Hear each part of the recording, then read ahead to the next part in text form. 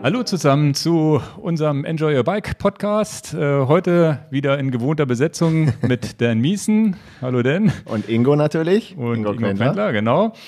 Und heute, ja, eine überraschende Folge für mich um das Thema Tour de France, was als unser Hauptthema sein wird. Überraschend deshalb, weil ich nicht gedacht hätte, dass Dan das überhaupt noch interessiert. Ich habe äh, im Urlaub schon Tour de France geguckt und das ist ja wirklich eine der ersten Tour de France seit 20 oder 30 Jahren, die wirklich komplett offen ist, Stand heute, wo man nicht weiß, wer der Toursieger wird. Und wirklich überraschende Etappen, selbst die Flachetappen haben Spaß gemacht. Und dann bin ich hier aus dem Urlaub zurückgekommen und habe mir gedacht, naja, im Podcast mal kurz drüber sprechen, ist eine ganz gute Idee. Und Dan kommt um die Ecke und sagt, ja, was, ich habe eine gute Idee für ein nächstes Thema. Und das war Tour de France. Genau.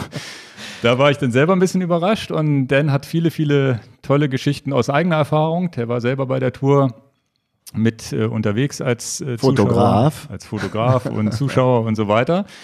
Ähm, dazu später mehr und wir werden dann, ja, werde ich auch mal ein bisschen berichten, wie das im Urlaub war, überhaupt die Tour de France da gucken zu können in deutscher Sprache und so weiter. Das war nämlich gar nicht so einfach mit Eurosport und Co. Und ja, gehen wir später darauf ein. Bevor es zum Hauptthema kommt, wie immer, ein bisschen Feedback und äh, ja, Rückfragen, beziehungsweise die, die wir, was wir so von, von euch bekommen haben in Kommentaren. Aber jetzt erstmal zum Urlaubsthema. Das ist ja ganz wichtig. Wie war dein Urlaub? mein Urlaub war sensationell gut. Ich war in Dänemark, ganz oben an der Nordseeküste zwischen Hirtshals und Skagen, mache da gerne Zelturlaub. Finde ich also einfach. Also ganz oben fast. Ganz okay. oben, ja. Also mhm. von Hannover dann 700 Kilometer. Weiter ja. kann man nicht weg sein. Und dann da ganz oben trifft sich die Nordsee und die Ostsee. Da mache ich gerne Urlaub. Da zählte ich, hatte ich neulich in einem Podcast mal drüber geredet, wo ich das erste Mal die Gravelbikes entdeckt habe. Erinnerst du dich bei einem Podcast? Ja. Das habe ich tatsächlich da in der Gegend äh, entdeckt und da waren wir jetzt wieder. Immer der gleiche Campingplatz? Fast immer der gleiche Campingplatz, mhm. weil bin dann Gewohnheitstier, die Kinder kennen sich super aus und ähm, die können dann praktisch sich da komplett frei bewegen und ich kann halt auch machen, was ich will. Ja, ich erinnere mich noch an dein Video vom letzten Jahr, da hast du den, den Anhänger mit den Fatbikes mit. Und ja, und dieses Jahr, wir hatten ein Video gemacht, habe ich die Pedal Flows mitgenommen. Okay. Und ähm, da waren die Kinder zwei Wochen mit beschäftigt. Also wer das mal sehen möchte, diese Pedal Flows sind im Prinzip wie so kleine Scooter, ja. aber man stellt sich nicht drauf und man schwingt nicht mit einem Fuß, sondern man stellt sich drauf und es sieht dann aus wie so ein Stepper im Fitnesscenter. Aber ein Fahrrad, ne? Hat ja Fahrradpedale. Genau. Ne? Und am Ende des Tages war es so, dass wir, ja, na klar, das ist ja schon auch, auch schön, dass die Kinder sich freuen, dass er überall angeguckt werden, wenn sie über den Campingplatz ja. fahren. Das macht denen auch Spaß. Und es war halt wirklich Entertainment für zwei Wochen. Echt? Sie sind jeden Tag damit Jeden umgegangen? Tag, aber ich ja auch. Okay. Und es ist auch wirklich Fitness, ja. Also aber, ihr habt nicht auf, aber ihr habt jetzt keine Ausflüge damit gemacht, oder? Nee, wir, wir, sind tatsächlich nur auf den Campingplatz gefahren und das längste, was wir gemacht haben, waren dann zwei Kilometer. Ja. Aber es ist auch wirklich Fitness. Ja. Und dann auch das, die, die Randgeschichte an der Sache, sagte ich denen, auch hier, ihr beiden, Ne? Also das würde dich, das würde dich freuen. Jetzt machen wir noch ein paar Videoaufnahmen. Ne? Wer weiß, vielleicht mache ich ein Urlaubsvideo, so wie letztes Jahr auch und etc. Sagen die Kinder, nö, wir kriegen ja keine Tantiemen. Ah. So, was soll denn das? Sie haben doch aber das Pedalflight zur Verfügung gestellt so, bekommen von so, dir. Ja, und äh, da merkst du halt, der, der, den Achtjährigen hätte ich vielleicht noch dazu überreden können, aber der jetzt 13-Jährige, no way. Aha. Ich will nicht ins Video. Oh, auch nicht schlecht. Also. Das Pedalflow, das Video habt ihr vielleicht gesehen, das war ja ein ziemliches Fun-Video, was wir gemacht haben. Aber es ist tatsächlich alltagstauglich. Ich nutze das äh, bei uns in Bemerode da zum Brötchen holen oder wir sind dazu zu Freunden gefahren, zwei, drei Kilometer, ist überhaupt gar kein Problem. Und ich bin neben, neben meiner Frau, mit dem, die ist mit dem normalen Cityrad gefahren. Also du kommst auch mit, bist nicht langsam. Also wirklich, äh, also es ist jetzt nicht nur ein Spielzeug, muss man ganz klar sagen. Ja, aber es gehört absolut in den, in den Bereich Fun. Nicht, nicht, genau. nicht reines Training. Nee, nee, kein Trainingsgerät und es ist trotzdem ein Fortbewegungsmittel. Also Aber, ich finde Ja, haben wir mal was anderes im ja, Sortiment. Ja, und, unsere Kinder, in, zumindest da im Stadtteil, wo wir unterwegs sind, fahren ja auch mit, mit, mit Tretrollern zur Schule und sonst wie und dafür ist es auch eine Alternative und bist definitiv schneller als mit einem Tretroller, muss man schon sagen. Und du warst nicht selten, du warst in Südtirol. Wir waren in Südtirol, genau an der Grenze fast zu nicht mehr zum italienischen Südtirol sozusagen, wo dann nicht mehr Deutsch gesprochen wird, im, in der Grenze zum Trentino. Und zwar liegt das genau zwischen Mendelpass und Gampenpass. weiß nicht, ob du die kennst, wahrscheinlich. Ja, vom Namen her, vom aber Namen da, kennt da man das, ich jetzt ne? nicht. Der Mendelpass, der geht ja runter nach Kaltern zum Kalterer See und der Gampenpass, wenn man darüber fährt, kommt man wieder nach Lana. Das heißt, die beiden Pässe gehen tatsächlich richtig ins Südtirol, so wie man es kennt, kennt, in dieses, ja, sagen wir mal, ins tiefste Südtirol rein. Und da oben, wo wir waren, da geht es Uldental oder so weiter, das ist dann die italienische Seite, geht es dann, kann man auch abbiegen, na, richtig nach Italien rein. Und ich weiß es wirklich nicht, das glaubt uns vielleicht keiner, aber ich weiß es gar nicht. Hast du Hotelurlaub gemacht oder Nee, wir haben, wir haben ein Ferienhaus. Ich bin ja auch tatsächlich äh, ein Freund davon, ein Ferienhaus lieber zu haben, obwohl man ein bisschen Infrastruktur sich selber schaffen muss mit Kochen und äh, Pipapo. Mhm, ja. Wir kennen es ja vom Camping auch. Hotels mag ich deshalb nicht, weil ich immer das Gefühl habe, jetzt hat man so ein schönes, großes Zuhause und dann fährt man in Urlaub und sitzt in so einer kleinen Bude drin. Ne? Hat natürlich den Vorteil, dass einem Essen gekocht wird und jeden Tag das Zimmer gemacht wird, aber eigentlich finde ich so ein Ferienhaus immer schöner. Und wir hatten da echt einen tollen, tollen Gastgeber oder eine, eine tolle Unterkunft, alles komplett aus Holz. Die machen so ein bisschen kein, kein Plastik, also auch in dem ganzen Haus so gut wie kein Plastik zu sehen. Selbst das Spülmittel haben sie in Gläsern okay. mit, mit Deckel da reingemacht. Also so ein, so ein ganz, ganz coole, cooler Ansatz. Und ich habe auch gesehen, wie die Häuser gebaut wurden, beziehungsweise die machen da auch manchmal so Veranstaltungen mit Holzbauern, die sich das dann angucken, wie das gemacht wurde. Also das, das war echt, echt toll. Viel, das wusstet ihr vorher? Das wusste mir vorher. Okay. Yves hat das, äh, meine Frau hat das halt rausgesucht. Und das war tatsächlich so, ja, aber nicht, nicht jetzt nicht alternativ, aber wirklich so um, auf Umwelt gedacht mhm. und auch sehr nachhaltig das Ganze. Mitten im Wald auf 1200 Meter Höhe, wie gesagt, zwischen den beiden Pässen und da geht es nicht mehr ganz runter ins Tal, sondern man bleibt relativ weit in der Höhe. Dadurch hatten wir immer eine schöne kühle Luft da oben, wenn es so heiß war. Und mitten im Wald bedeutet halt auch wirklich ruhig nachts und tagsüber konnten die Kinder da im Wald spielen. Das war super. Und ihr hattet dann vier Räder mit? Ähm, nee, tatsächlich nur drei. Die Kleine fährt noch, weil, weil in den Bergen fahren, das traue ich der Kleinen noch nicht zu. Das heißt, hier hatten drei Rennräder, also zwei Gravel-Bikes, das von meiner Frau und mir, die Open und äh, das Rennrad vom Kleinen. Mhm. Und mit der, der ist das Rennrad? Ja, ja. Nicht der, das Mountainbike? Nee, nee, der Elfjährige Ach. ist tatsächlich mit uns. Äh, also, wenn man bei uns aus der Tür rausging, konnte man als von unserer Seite auf den Gampenpass hochfahren, so sieben Kilometer. Das hat er gemacht mit drei Pausen. Immerhin, das erste Mal, dass er Berge gefahren ist. Und das, äh, aber das Radfahren war jetzt nicht so primär das Wichtige. Meine Frau ist jetzt zweimal gefahren. Ich fahre halt ein bisschen öfter, wenn ich dann Zeit finde. Mhm. Und es war halt super. Also diese, diese Unterkunft nennt sich Felicitas, falls das jemand interessiert. Falls ihr auch diesen, diesen Urlaub mit Ferienhaus mögt, könnt ihr euch das mal angucken. Sehr, sehr netter Gastgeber. Der war mit uns einen Tag wandern und so. Ne? Also okay. das war auch äh, wirklich toll. Wenn, wenn du da mit einem Einheimischen wandern gehst, dann findest du auch nochmal Wege, die, die sonst keiner geht. Und das war echt super.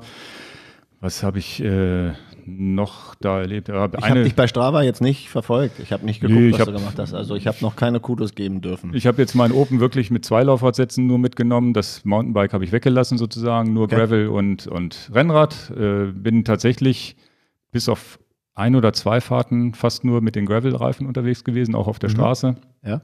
Und habe eine lange Tour gemacht, habe ich auch ein Video zu gedreht. Ich hoffe, das schneide ich jetzt bis zum Wochenende mal gucken wo ich zum Timmelsjoch gefahren bin. Das war eine ganz äh, coole Fahrt, 165 Kilometer, weil zum Timmelsjoch war schon weit und waren am Ende dann 3000 Höhenmeter. Also ich hätte direkt zum Kalterer See fahren können, aber ich bin halt übers Timmelsjoch zum Kalterer See gefahren, habe dort dann die Kampffamilie nachmittags aber das auch wieder ist doch getroffen. Auch bei, bei ah, wie heißt denn dieses, diese Ötztaler. Ötztaler Radmarathon genau. hat doch auch Timmelsjoch, oder ja, nicht? Genau, und den kannte ich auch schon, bin den da hochgefahren und äh, muss sagen, nachdem ich letztes Jahr beim Stilfserjoch war, das Timmelsjoch ist cool, aber eigentlich auch nur die letzten Kehren. Der okay. Rest vom Timmelsjoch finde ich relativ langweilig. Da finde ich sowas wie Stilfserjoch interessanter. Das heißt, wenn ihr euch mal einen so einen Pass aussucht, der wirklich über zweieinhalbtausend Meter gehen soll, würde ich immer sagen, nehmt, nehmt lieber das, das Stifterjoch als das Timmelsjoch. Für mich war jetzt Timmelsjoch interessant, weil ich letztes Jahr Stifterjoch hatte. Ich bin mal Stifterjoch gefahren, als dieser Radtag da war. Das mhm. Joch hat immer einmal im, im Jahr einen Tag, wo Autos, Motorräder, das alles gesperrt ist. Ja.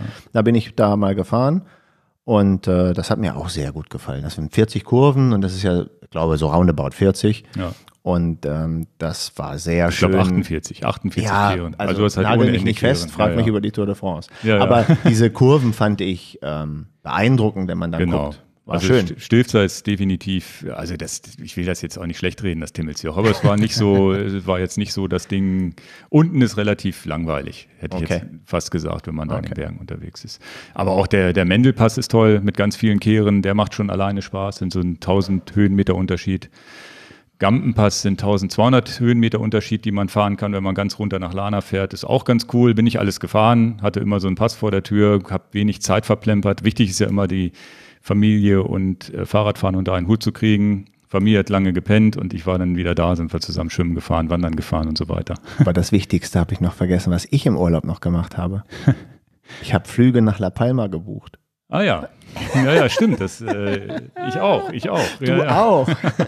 Das war ein Highlight in meinem Urlaub. Ja, ja. Und zwar im Februar dieses Jahr äh, ist La Palma 2020. wieder angesagt. Ihr habt ja die Videos, vielleicht einige, die uns schon länger verfolgen, haben vielleicht die Videos gesehen. La Palma haben wir ja zwei schöne Vlogs gemacht. Das heißt, Jahr. alle, die, weil wir sie jetzt ja gebucht haben, können wir jetzt sagen, wer in La Palma uns treffen will, der muss im Februar dahin fliegen. Genau.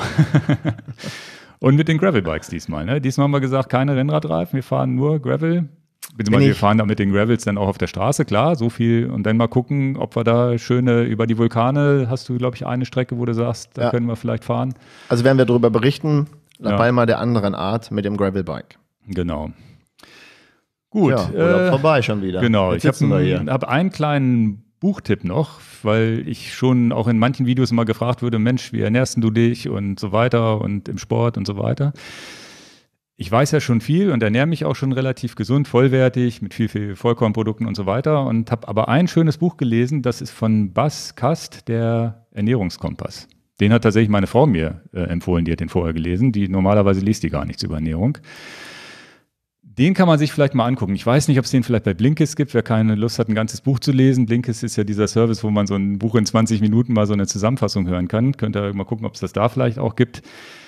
Lege ich euch einfach mal hier mit ans Herz, weil da war ein kleiner Augenöffner dabei, den ich so noch nicht kannte, obwohl ich wirklich viel mich damit beschäftigt habe.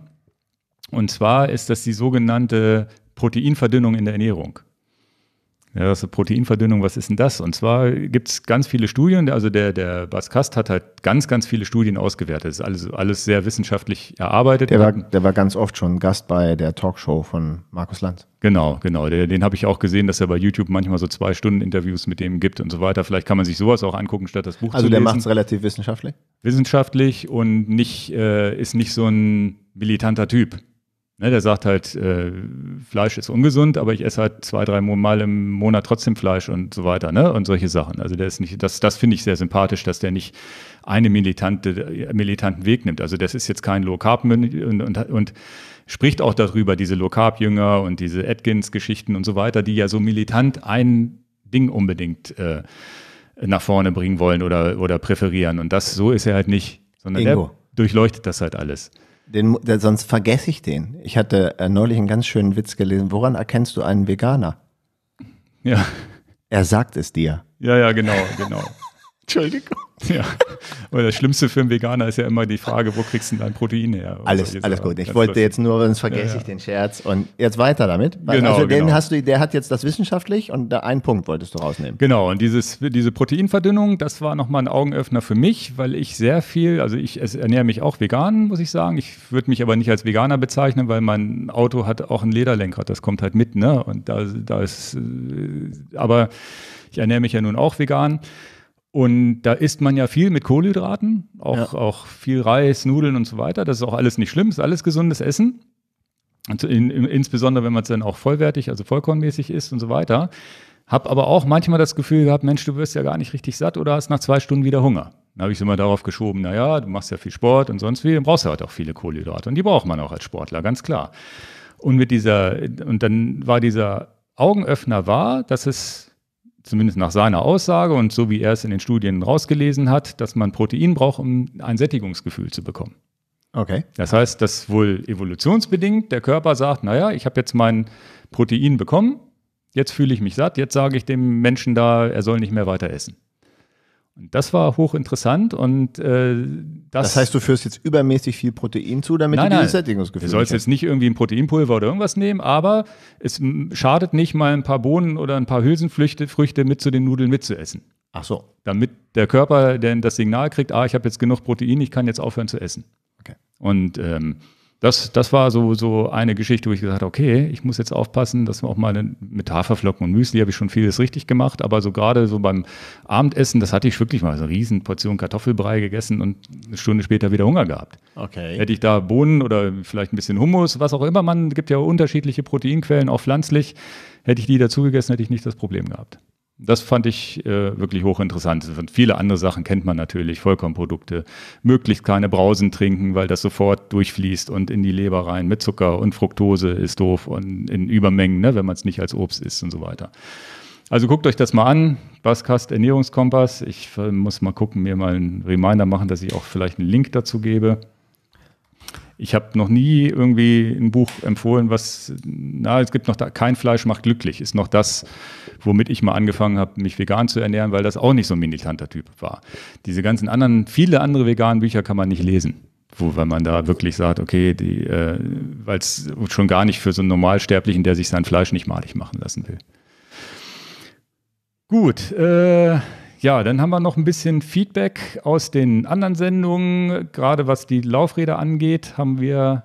Ja, also vielen, Punkt. vielen, vielen Dank. Ähm, wir genau. kriegen so viele E-Mails ähm, äh, also, auf, auf unsere Podcast-Folgen und die E-Mail-Adresse sage ich hier auch nochmal: podcast at ähm, enjoyyourbike.com. Genau. Vielen Dank dafür. Also sehr, sehr. Ja positiv, äh, also wir sind wirklich, glaube ich, beide sehr positiv ja. überrascht auf die Resonanz. Vielen, vielen, ja. vielen, vielen Dank. Auch. Und ich habe auch schon viele, also das müsst ihr auch sagen, ihr schreibt die E-Mail nicht umsonst. Schreibt die uns ruhig, selbst wenn wir hier im Podcast nicht drüber sprechen, habt ihr meistens von mir oder von Dan zumindest eine ausführliche Antwort bekommen. E-Mail ist da sicherlich, wenn man was Ausführlicheres haben will, immer der, die, die beste Methode. Ja. Ganz oft überliest man einen Kommentar. Weil der Podcast ja auch bei YouTube ausgestrahlt wird, den überliest man dann doch schon manchmal. Ja, ja. Die Kommentare versuche ich mir immer per Screenshot irgendwie ins Handy. Da habe ich auch zwei, die ich gleich noch ansprechen werde. Jedenfalls ein wichtiges, was bei den Laufrädern, was ich mir aufgeschrieben hatte während der Sendung, dass wir über Narben sprechen wollen. Aber ganz vergessen. Die haben wir komplett vergessen. Aber du, ja, gibt es da vieles zu ja, wir sind ja, wir, damit wir nicht den, den Vorgespräch jetzt hier heute so lang haben, mache ich es mal ein bisschen gebündelter. Bei den Namen ist ja ganz klar, dass ähm, die Technik da so weit vor, äh, vorangeschritten ist. Früher hatte man die einzelnen Kugeln in der Narbe und man musste natürlich schon mal die Kugeln rausnehmen, alles sauber machen, neues Fett reinmachen, die einzelnen Kugeln wieder reinsetzen, das Lagerspiel einstellen. Campagnolo hatte dann so ein Abschmiermittel in der Nippe, in der Mitte des, der, der, der Narbe. Und ähm, das, das war dann für viele Leute immer sehr viel Aufwand. Das musste die Werkstatt machen. Heutzutage ist es so, ihr kennt diese Industrielager, wenn man sich vielleicht die mal in so einem Rollenkoffer oder in so Inline-Skates anguckt, diese fertigen, gepressten Lager, wo ich nichts einstelle und wo ich nichts mehr fette, ähm, die sind meistens in den heutigen hochwertigen Narben eingesetzt. Das heißt, vorne im Vorderrad ist rechts und links ein sogenanntes Industrielager. Und ähm, hinten sind dann meistens vier Industrielager, zwei befinden sich in der Narbe und zwei befinden sich im Freilauf. Und dann wäre es jetzt ein bisschen, das würde das zu sehr ausschmücken, wenn man sagt, der Hersteller A, der Hersteller B, der Hersteller C. Die grundsätzliche Sache, die man erwarten sollte heute bei hochwertigen Laufrädern, dass das industriegelagerte Narben sind. Und deswegen brauche ich jetzt eigentlich da auch nicht sehr viel drauf eingehen. Wo man nochmal drauf eingehen könnte, ist, wie der Freilauf hinten unterschiedlich funktioniert. Da gibt es diesen Begriff Sperrklinken. Der eine Hersteller hat drei Sperrklinken, der andere Hersteller hat sechs Sperrklinken. Je mehr Sperrklinken ich habe, desto äh, äh, leiser ist es vielleicht oder, oder desto smoother läuft die, läuft die Geschichte. Dann gibt es äh, Freiläufe, die sind, äh, die, da, da, hat man keine Sperrklinken, sondern es wird magnetisch voneinander getrennt. Dann gibt es Freiläufe, die haben so ein Ratchet-System. Hm. Das die magnetischen wir, und magnetischen haben wir in einem Video mal gezeigt. Genau, die haben wir mal. NSW. Wenn genau. ihr nach ZIP NSW sucht, vielleicht. Dann äh, findet man das noch. Aber da muss ich uns ein bisschen zurücknehmen, Ingo, sonst haben wir hier eine Stunde lang nur Narben. Also deswegen. Also die Narbensendung kommt noch, die ausführliche. ich habe zwei, äh, zwei Fragen noch dazu. Und zwar einmal äh, ein Kunde, der hast du eben eigentlich schon fast beantwortet, der wirklich gefragt hat, ja, was mache ich denn, wenn ich jetzt so ein DT Swiss 240 habe ich jetzt. Eine sehr gute Narbe. Genau, wenn ich jetzt ein Laufrad kaufe, ist, ist das denn okay oder muss ich mich, mir um die Narbe noch Gedanken machen? Nein, man muss sich über die Narbe nicht Gedanken machen. Man muss, also in dem Fall kann man das ja nachgoogeln. Die DT Swiss 240er Narbe ist eine beliebte Narbe, die industriegelagert ist, die viele positive Punkte kommt. Ich will aber nicht diese Narbe als einzigste Narbe jetzt rausgreifen. Nee, aber, aber nee, nach, konkret, nach konkret der glaub, Frage nach dem Produkt kann ich ja konkret die Antwort auf genau, das Produkt Genau, also er, er, hatte einen Laufradsatz für 1500 Euro, da war diese Narbe verbaut und ich habe ihm jetzt ganz, ich habe ihm jetzt ganz banal geantwortet und gesagt, wenn ich mir einen teuren Laufradsatz kaufe, mache ich mir keine großen Gedanken um die Narbe, die nehme ich halt einfach mit, die verbaut ist damit ich einen fertigen Laufradsatz habe. Man könnte natürlich umspeichen und ich, wir haben auch einen Kumpel, der Chris King irgendwo das kostet aber nochmal so viel wie so ein Laufrad, ne?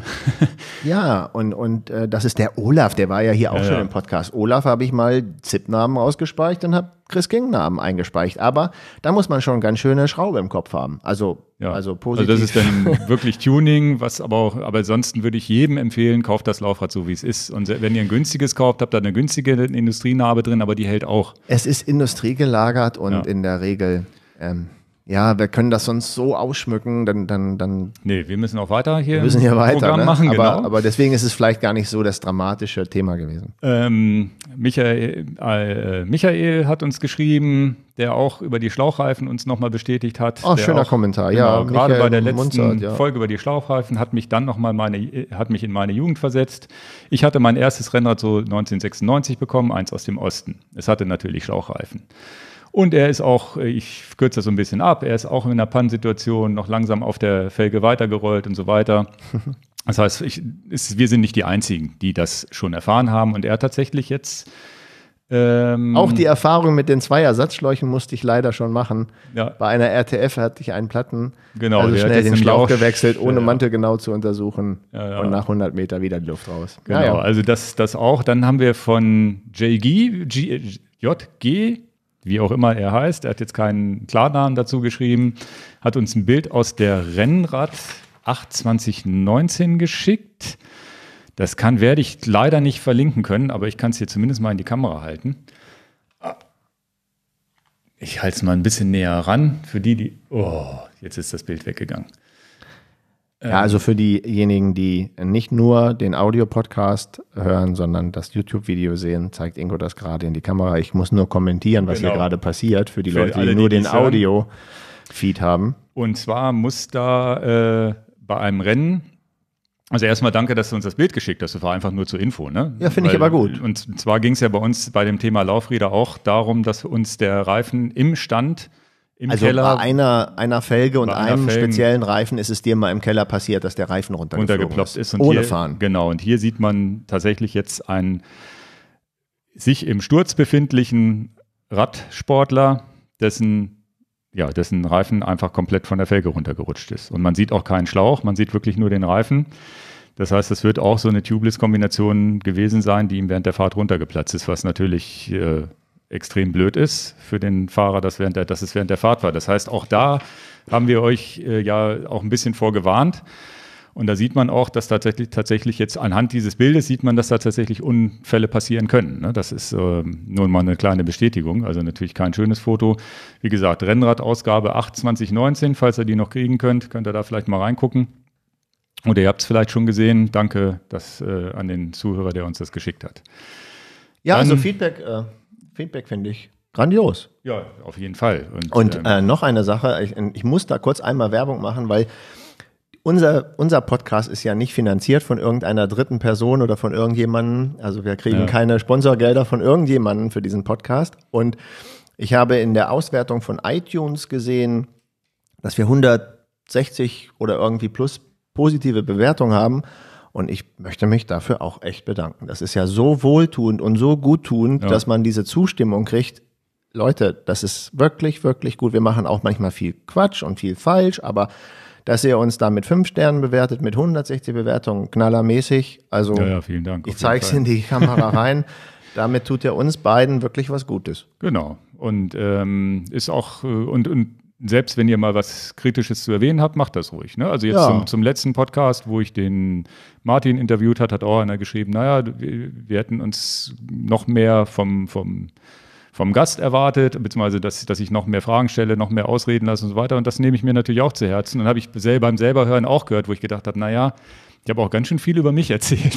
Und soll ich dir was sagen? Das ist auch wichtig, dass du den Leuten sagst, dass wir euch das ja auch nicht übel nehmen. Was sind wir denn für Typen? Ja. wir sind ja ganz normale Typen. Ich sage auch immer einzigste statt einzige. Ja, ja. Habe ich heute eine Mail oder irgendwo habe ich das gesehen, da genau. wurde ich auch korrigiert mit einem netten, mit einem netten Lächeln. Ja, Finde ich super. Genau. Jetzt sage ich absichtlich immer das falsch. Ja, ja. ich glaube, da machen wir auch ein T-Shirt von. Ja, ja, ja, ja, aber damit das auch klar ist, ich finde das gut, ähm, bin da gar nicht eitel. Ich finde ich super, macht weiter so. Ja. Und wenn es auf die nette, kommunikative Art läuft, so wie es läuft, super. Ja, und wir lernen ja auch im, immer weiter. So, Einzige. Dann ich, genau, dann habe ich hier noch was auf meinem iPhone, was ich versuche. Vielen Dank für den Content. Ähm, ich würde mich nochmal über ein Statement zu einem Thema freuen, das gerade unter Langzeit-Triathleten immer wieder heiß diskutiert wird. Aha. Hört man auf die Aerodynamik-Experten der Laufradhersteller, kriegt man eigentlich durchgängig folgendes Statement. Vorn 23 mm für die Aerodynamik, hinten 25 mm für Rollwiderstand und Komfort. Der aerodynamische Unterschied der 23er vorn soll hier nicht gerade unerheblich sein. Können wir da was zu sagen? Wow, ja, da kann ich ganz viel drüber sagen. Okay. also fangen wir mal an mit ähm, Aerodynamik bei hohen Geschwindigkeiten ist, äh, da ist breite Reifen sind dann wirklich schlecht. Und wenn ich jetzt den 25 Millimeter breiten Reifen vorne habe, dann jetzt ist ja klar, da habe ich so ein, so ein Rechteck, was dann praktisch vorne dem Wind entgegensteht, ist ja klar, mhm. dass ich da mehr Quadratmillimeter habe. Und wenn ich da 50 Sachen auf dem Tacho habe, ist das wirklich blöd. Okay. Also bei, 25, also bei 25er Reifen ist der 23er besser. Mhm. 100 Pro.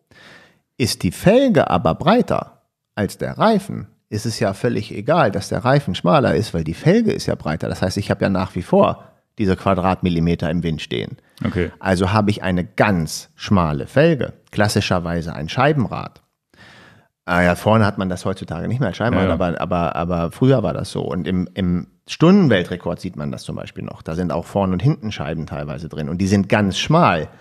Dann wird beim Zeitfahrrekord, weil der ja auch eine Geschwindigkeit Richtung 60 hat, vorne einen 19 mm Reifen genommen, auch heute noch. Mhm. Aus aerodynamischen Gründen. Es geht auch nur um die Aerodynamik, weil die Geschwindigkeit so hoch ist.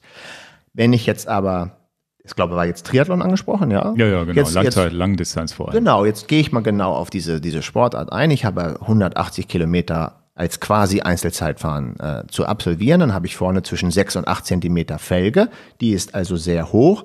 Und diese Felge ist auch sehr breit von fast allen heutzutage als Hersteller. Und wenn ich dann sage, ich mache einen 23er oder kleineren Reifen drauf, die Felge ist ja schon breiter als der Reifen, dann mache ich ja Quatsch. Hm.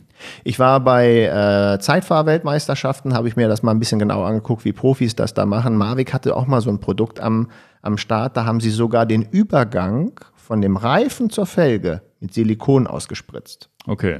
Und Mavic hatte dann ein Produkt, das konnte man so in die Lippe eindrücken. Mhm. So, um Damit eine glatte ist Oberfläche im Podcast ne? sehr schwierig rüberzubringen. Ja. Aber äh, hast du es verstanden? Ich hab's verstanden, ich ja, ja. Genau. Und da haben die Profis dann, da, da sieht man das, wenn man so zu den Weltmeisterschaften geht und man steht dann bei den Teams, Schmirgelpapier auf dem Sattel zum Beispiel, ja. Ne, wo man sagt, die Hose ist danach kaputt, egal, mhm. Weltmeisterschaft. Also das fand ich interessant, so die Übergänge vom Reifen mit Silikon ausfüllen, damit ja, man diese aerodynamische Kante noch macht. Silikon aus dem Baumarkt. ja, ja. Unglaublich, ne? Ähm, und deswegen ist die Antwort da, ja, hast du also wirklich eine schmale Felge, dann macht das aerodynamisch schon Sinn. Okay. Ist die Felge breit? Ist, hast du mit Zitronen gehandelt? Ja, das gucke ich mir dann heute Abend mal an. Dann kannst du mir fürs Wochenende den Reifen nochmal umkleben. Ähm, das gibt dir das Gefühl, dass ich dein Handlanger bin hier in dem. nee, du bist der Einzige, den ich kenne, der die Reifen richtig klebt hier. Das ist ja schön. Ähm, okay, nee, nee. ja, haben wir noch irgendwas, was das Thema mit dem Reifen da vorne angeht? Genau, eine, ich glaube, das ist verständlich, ne? Ja, ja. Dann die, bei den Reifenbreiten darf man eins nicht vergessen, das ist von FB gekommen. Wieder nur so zwei Buchstaben.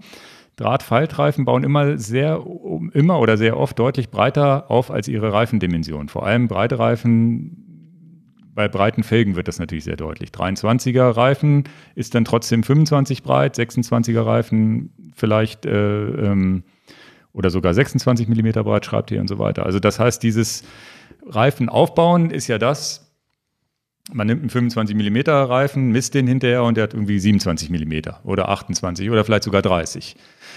Das ist ganz klar, das hängt von der äh, Felgengröße ab wahrscheinlich. Ne? Felgenbreite, ne? Das genau. ist dann auch das Thema, habe ich einen Schlauchreifen, der ja praktisch, wenn ich den jetzt durchschneiden würde, so, ja, dann würde der aussehen wie so eine durchgeschnittene Baumscheibe, äh, so ein Baumstamm. Ja. Der ist dann also rund und der ist dann so breit, wie er ist. Genau, der ist egal, wo man ihn draufklebt, hat er immer so die gleiche Breite. Ist, und das genau. ist auch meine Erfahrung. Der Conti Competition ist halt immer 25 mm breit. Plus, Weil, minus einen halben Millimeter. Es gibt, ja, ne? es gibt ihn ja auch in 22. ja, ja, aber wenn er 25 draufsteht. Genau. Und, bei, und das ist tatsächlich das, wo man, wo man bei Felgen, normal, äh, bei, bei normalen Faltreifen, Drahtreifen, hat man manchmal so einen Luftballon und manchmal hat man so, ein, so ein, die normale Breite. Bei den Drahtreifen wird, wenn die, wenn, die, wenn die Felge relativ breit ist, der Reifen einfach bauchiger. Genau. Und wenn ich die nach innen weiter, also die Felge schmal rein habe, ist es im Podcast schwierig rüberzubringen. Wenn die Felge nicht so breit ist, dann wird der Reifen enger nach in sich reingezogen und dann. Ja. also ich habe zum Beispiel den Conti 5000 auf meinem normalen Pendelrad in 28 Millimeter, glaube ich, draufgezogen und der, wenn ich den messe, kommen 31 oder sowas raus. Das heißt, ich habe schon einen relativ breiten gravelfähigen Reifen, obwohl ich nur einen 28er fahre. Und das sind so Erfahrungswerte. Wir haben gerade in der Werkstatt heute das graue Open äh, fertig gemacht, wo 3T, die neuen 3T Aero-Felgen drin sind und die äh, Felgen sind über 30 Millimeter breit. Es sind 35er Reifen drauf und aus dem 35er wird dann 37er. Ja, ja. Und das kann man auch ruhig so fahren. Das ist nur was, was wir nicht weiter erwähnt hatten. Dann noch eine kleine Geschichte und zwar beim Carbon-Rahmenmaterial. Da sind wir schon beim Thema Tour de France. Da ist, habt ihr vielleicht auch die Bilder gesehen, da ist ein Reifen komplett in zwei Teile gebrochen. Äh, ein Rahmen, Entschuldigung, nicht ein Reifen, ein Rahmen. Und äh, das ist äh, hier von, von Paul geschrieben worden. Der hat gefragt, ob man jetzt Angst haben muss, sich einen Carbonreifen, äh, ein Carbon, ich bin schon wieder Reifen, einen Carbonrahmen zu kaufen, weil der, weil da im Fernsehen diese zwei Teile zu sehen waren. Jetzt habe ich mir die Links, ich verlinke das mal, ich habe mir, da gibt es dann Videos dazu, wie dieser Sturz passiert ist. Es war wieder Garen Thomas, also Ineos, Team Ineos, ein Pinarello-Rahmen. Habe ich mir hundertmal angeguckt, na, wie ist denn jetzt dieser Sturz passiert? Ist der Rahmen schon beim Sturz gebrochen gewesen oder nicht? Und habe dann so ganz so Frame by Frame geguckt, okay, da scheint der Körper des Fahrers seitlich auf den Rahmen draufgeknallt zu sein. Das heißt, der, der Fahrer, der hinter, dem stürzenden Fahrer ist auf diesen Rahmen geknallt und ich gehe davon aus, so habe ich es zumindest gesehen, dass das die Ursache ist für den Bruch. Einige haben gesagt, dass, die wohl, dass, das Fahr dass das Auto wohl drüber gefahren ist. Das war aber nicht so, das konnte man in einem zweiten Video sehen. Ähm, muss ich mir jetzt Sorgen machen als Carbon-Fahrer? Also ich habe dem Kunden schon eine E-Mail-Antwort gegeben oder dem, dem Hörer, der uns das geschickt hat. Ich bin nicht darauf vorbereitet, aber ich antworte gerne. Ich kann ja mal äh, kurz äh, so ein bisschen. Nee, machen wir doch, mach, mach, komm, das machen wir doch Freestyle jetzt. Komm.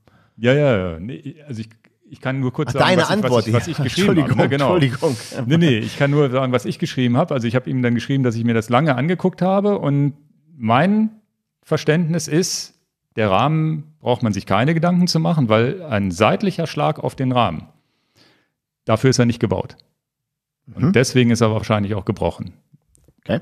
Was sagst du als Carbon-Experte dazu? Also, wir haben ja auch mal Reglerrahmen, die wir praktisch entwerten müssen hier, mhm. damit die nicht mehr in Umlauf kommen, dass nicht jemand bei eBay Kleinanzeigen so einen Rahmen, der mal gestürzt war, weiterverkauft. Also nach dem Sturz kommen den Kunden zu uns. Genau, und der muss dann entwertet werden, weil dann praktisch der nächste Kunde einen besseren Preis für ein Crash Replacement kriegt, etc.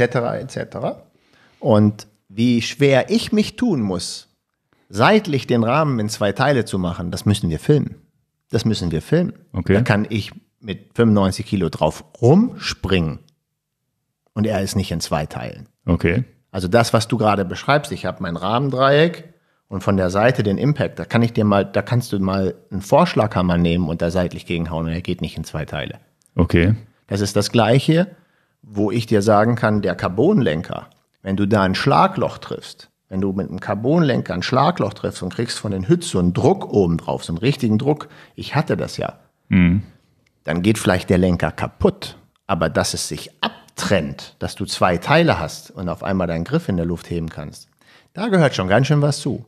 Das kann sein, das kann passieren, aber es ist schon ein, also das wir müssen da mal ein Video von machen, wenn wir wieder so ein entwertetes Das heißt, haben. für dich ist es doch schon eine außergewöhnliche Situation, dass da ein Rahmen in zwei Teilen an der, an der Bande stand. Genau.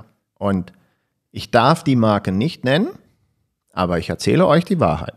Ich war bei Bob Parley in äh, Massachusetts und habe in der Werkstatt Rahmen gesehen von einem bekannten Profiteam. Die waren alle kaputt. Okay. Und da ist was falsch gelaufen in der Produktion dieser Rahmen. Das ist nicht, das ist so, ich sag's mal banal, ich baue ein Haus und dann habe ich zu wenig Zement reingemacht. Die Statik, also die Statik hab funktioniert ich, dann am Ende des ich, Tages nicht. Habe ich ne? ein bisschen, habe ich, hab ich mich vertan. Okay.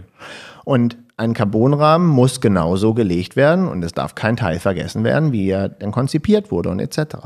Das ist, wo Menschen sind, passieren Fehler. Aber das ist, das heißt, es Aber das kann ich natürlich jetzt für diesen Fall gar nicht, da habe ja, ich ja, ja, überhaupt gar keinen Einfluss. Aber nee, um die Antwort zu geben, es kann tatsächlich natürlich sein, dass du einen Rahmen bekommst und das ist aber auch, um jetzt das mit den, die Angst mit Carbon zu nehmen, das kann dir ja bei Titan genauso passieren. Und also das habe ich ihm auch geschrieben, dass wenn jetzt, wenn jetzt da das, das der, liegt jetzt nicht an wenn Carbon. Wenn Stahlrahmen unglücklich stürzt, kann der da auch in zwei Teilen liegen. Also aber es ist ja trotzdem, trotzdem hochinteressant. Das heißt, also die, die Möglichkeiten, dass was versagt, die, äh, du kannst in die Autowerkstatt fahren und sie vergessen dir die, die, die Reifen fest anzuziehen. Ja, ja. Also da, das ist schwer ergründlich. Das kann man nicht so richtig rausrecherchieren, wo, wo da genau der Fehler im System war. Was natürlich immer wichtig ist, dass man Sachen am Limit austestet. Also, sag ich mal, so 150 Newtonmeter im Tretlager reingibst, dann über 100 Newtonmeter in, in, in, in den Steuerkopf reingibst und dass das alles praktisch belastet wird. Und das ja. macht ja die Industrie auch.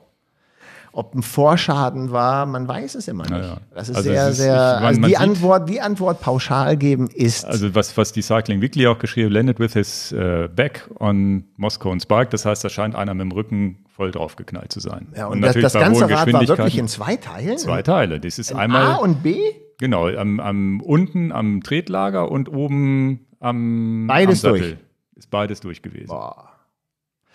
Ja, also das kann ich, da kann ich keine Antwort geben, warum ich jetzt wüsste, warum der, der, der so Kunde, der uns ist. das jetzt geschickt hat, oder der Hörer, der hat gesagt, ja, muss ich jetzt Angst haben, mir einen Carbonrahmen zu kaufen? Naja, gar, naja, gar nicht. Das ist die gleiche Frage, muss ich Angst haben, in einen Flieger zu steigen? Dies kann natürlich auch sein, dass sie ja mit Prototypen rumfahren. Ne? Das kann auch. Das hatten wir übrigens mal mit, das hatten wir übrigens auch mal zur Zeit von Bjarne Ries und Jan Ulrich, weil wir heute Tour de France-Thema hatten. Ja. Da hatte Campagnolo mal in der Tour de France äh, Tretlager getestet aus Carbon. Ja. Alles kaputt gegangen. Okay. Aber die waren niemals am, für den Endkunden gedacht. Ja, ja, gut, das war jetzt ist natürlich auch Material. Und es gibt's denn, das war nämlich auch noch die Frage, das weiß ich nicht, ob du das überhaupt weißt. Gibt es denn Testverfahren, dass man sagt, okay, ja, ja. Ja, ja, ja, ja. bevor so ein Rahmen auf den Markt kommt, muss der bestimmte Kriterien erfüllen? Brauchen, ja. Okay. Haben sie, also die alle. Das heißt, wenn man jetzt auf dem Endkundenmarkt unterwegs ist, kriegt man einen Rahmen, der stabil ist, der zumindest schon mal ein paar, paar Tests durchgemacht hat. Ein paar Tests, das ist ja heute, heutzutage alles. Okay. Die, die verklagen dich ja, wenn du diese Tests nicht hast. Also Gut. das ist ja auch zu Recht. Also, aber, aber Entschuldigung, dass ich da jetzt so eine blöde Antwort vielleicht drauf gebe, aber das kann dir auch letztendlich bei dem Titanrahmen passieren und ähm, das, ähm, ja, es liegt jetzt nicht nur am Carbonrahmen. Okay, nee, also dann, dann, dann haben wir das auch Öffnen der Seite fehlgeschlagen. Das ist jetzt nicht so. Hier, so sah okay. das Ganze aus. Ach du meine Güte. Also das Bild, das Bild dazu verlinke ich und auch die, das Video dazu zu dem Sturz ist tatsächlich, ja, sind auch tatsächlich die Schweiß, in Anführungsstrichen fast die Schweißpunkte, wo man sagt, ne? Das sieht schon komisch aus, ne? Kann man versuchen, da, also brauchst da, da eine, eine, Antwort zu geben, ohne irgendwelche Hintergründe zu kennen, warum, wieso, weshalb, das wäre jetzt äh, wirklich unfair, egal welcher Hersteller das war, egal, das ist völlig wurscht. Ja, es war, aber, es war, es, es, war halt, es war halt Thema, ne? Und ja, ja, verstehe ich.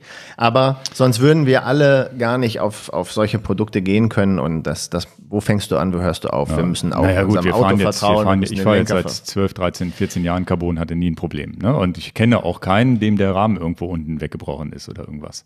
Äh, ich kenne schon Leuten, denen der Rahmen gebrochen ist, ja, aber, aber das Sturz, ist nicht, ne? das, genau, also nicht, dass es dann so schlimm war, wie jetzt da zu sehen ist. Ja. Okay, gut. Gut, dann äh, ist das ja auch der richtige Punkt jetzt, um zum Thema Tour de France überzugehen.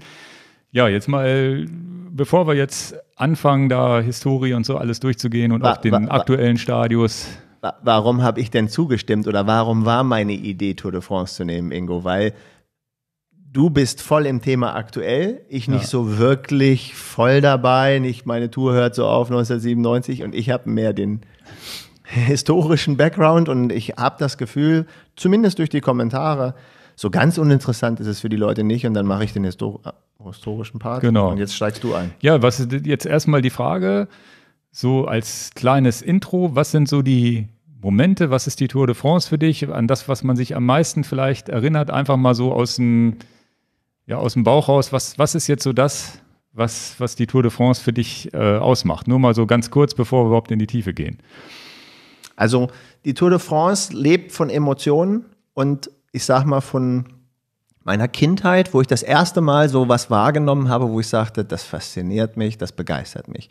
Und das war, wenn ich so an meine Sportler-Sachen denke, das war dann mal Björn Borg bei Wimbledon. Das war so ein Moment. Boris Becker? Nee. Doch, den, bei mir war es Boris Becker. Ja, ja. Zu, also bei mir war es so. bei Björn, mir fing es mit Boris Becker an. Ja, Björn okay. Borg, John McEnroe, Wimbledon, so ein episches Moment. Da sind, ist Wimbledon, da ist Björn Borg, wow. Da, da war die Familie vom Fernseher. Dann gab es 1984 die Olympischen Spiele in Los Angeles. Nächstes großes Ereignis, Olympische Spiele. Dann gab es diesen Rocketman, der in, in, in Los Angeles ins Stadion geflogen ist. Ich war völlig fertig. Seitdem habe ich jede Olympischen Spiele ja, aufgesucht. Da? da war ich 13. Okay. 71 geboren. Und das hat mich ganz begeistert. Und Tour de France hat mich begeistert, letztendlich durch diese Momente, wenn die Bergetappen gefahren wurden, wenn Zeitfahren waren, wenn ich die wichtigsten Momente einfach kurz raus, rausziehe, nur als Bilder im Kopf, dann ist es Marco Pantani fliegt Alpe d'Huez hoch. Marco Pantani fliegt wahnsinnig Alpe d'Huez hoch. Das ist ein Moment, den werde ich nie vergessen. Ulrich steigt ihm hinterher, hat 30, 40, 50 Sekunden gekriegt. Mm, Casagrande und, und, und äh, Ries dann auf den Plätzen. Ja. Aber das war ein Ding, wo ich dachte, ich muss nach Alp d'Huez, ich muss mir das angucken. Ja, ja. Das war ein Moment, der richtig war. Dann Zeitfahren, äh, Ulrich beim Zeitfahren, dann drehte er seine Mütze nach hinten, also von Helm war gar keine Rede.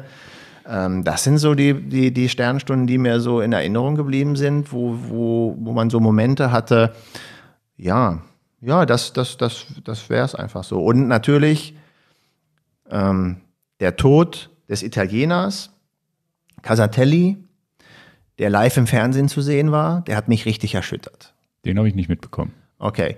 Der ist 1995 verunglückt und äh, das war live im Fernsehen bei einer Abfahrt. Das war das Team Motorola, wo auch Lance Armstrong drin war. Mhm. Der ist gegen so einen Pfeiler äh, gefahren und die Bilder waren im Fernsehen und, und ich war wirklich schockiert, tiefst mhm. schockiert mhm. und traurig, was da im Fernsehen zu sehen war. Und noch trauriger, waren dann zwei Sachen, die aber im Kopf hängen bleiben. Das war die Bild-Zeitung, die ich dann gesehen habe, die das ausgeschlachtet hat, wo ich mir schon mal gesagt habe, diese Zeitung kaufe ich auf gar keinen Fall mhm. irgendwann mal. Wie kann man das machen, diese blutenden, auslaufenden Köpfe zu zeigen? Oh. Und am nächsten Tag, das war, glaube ich, noch mal so ein, ist vielleicht ganz komisch, dass ich das sage, aber das Bild, was hängen geblieben ist, was auch die Tour de France macht, am nächsten Tag nach dem Tod des Teamkameradens ist das Team Motorola als Team geschlossen über die Ziellinie gefahren, also der Etappe. Das mhm. heißt, das ganze Team, alle verbliebenen Fahrer sind vor dem Feld gefahren, ganz alleine. Mhm. Und ich habe das im Fernsehen gesehen und ich war, ich war wirklich, also ich habe nicht geweint, aber ich war sehr, sehr berührt. Mhm. Ja, das gibt ja, so, gibt ja so Momente, wo dann sowas berührt. Ne? Also ich erinnere mich an Robert Enke oder so hier in Hannover. Naja, ne? klar, so, sowas, so Sachen, die berühren, obwohl man den Menschen nie gesehen hat. Genau, ne? genau. Ja. ja, aber das sind so, es sind so ein paar, vielleicht vier, fünf Bilder im Kopf, wo man denkt, boah. Du warst schon Radsportler, als du. Naja, ich war ja Radsport. Triathlet. Genau, habe Radsport am Rande gemacht, hier okay. eigentlich Schwimmer. Mhm. Und dann haben wir das mitgemacht und man hat das dann verfolgt. Aber wie ich dir auch schon sagte, ich bin ja gar kein Leichtathlet, aber habe trotzdem mhm. immer Carl Lewis super gefunden und, ja. und, und habe mir das alles angeguckt. Und, äh, ja. und Thema äh, auch äh, so, so Momente im Leben, weil wir hier so ein Rad haben mit Scheibenrad hinten und vorne, das habe ich mal mitgebracht aus, aus meiner Sammlung. Los Angeles 84, als das erste Mal auf der Bahn Scheibenräder gefahren wurden. Ich war völlig fertig als Papa, ja. das will ich haben. ja, cool. Also meine, meine Tour de France-Erlebnisse, äh, ich hatte mit Radsport und Radfahren überhaupt nichts am Hut. Okay.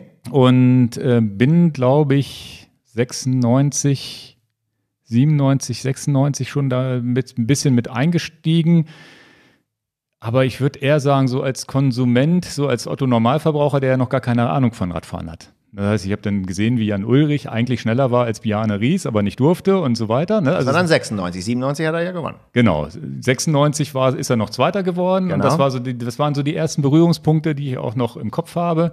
Und ich glaube, 97 hat doch Biane Ries sein Zeitfahrrad auch in die Ecke geschmissen. Ne? Der Bumerangwurf. Ja, ja, genau.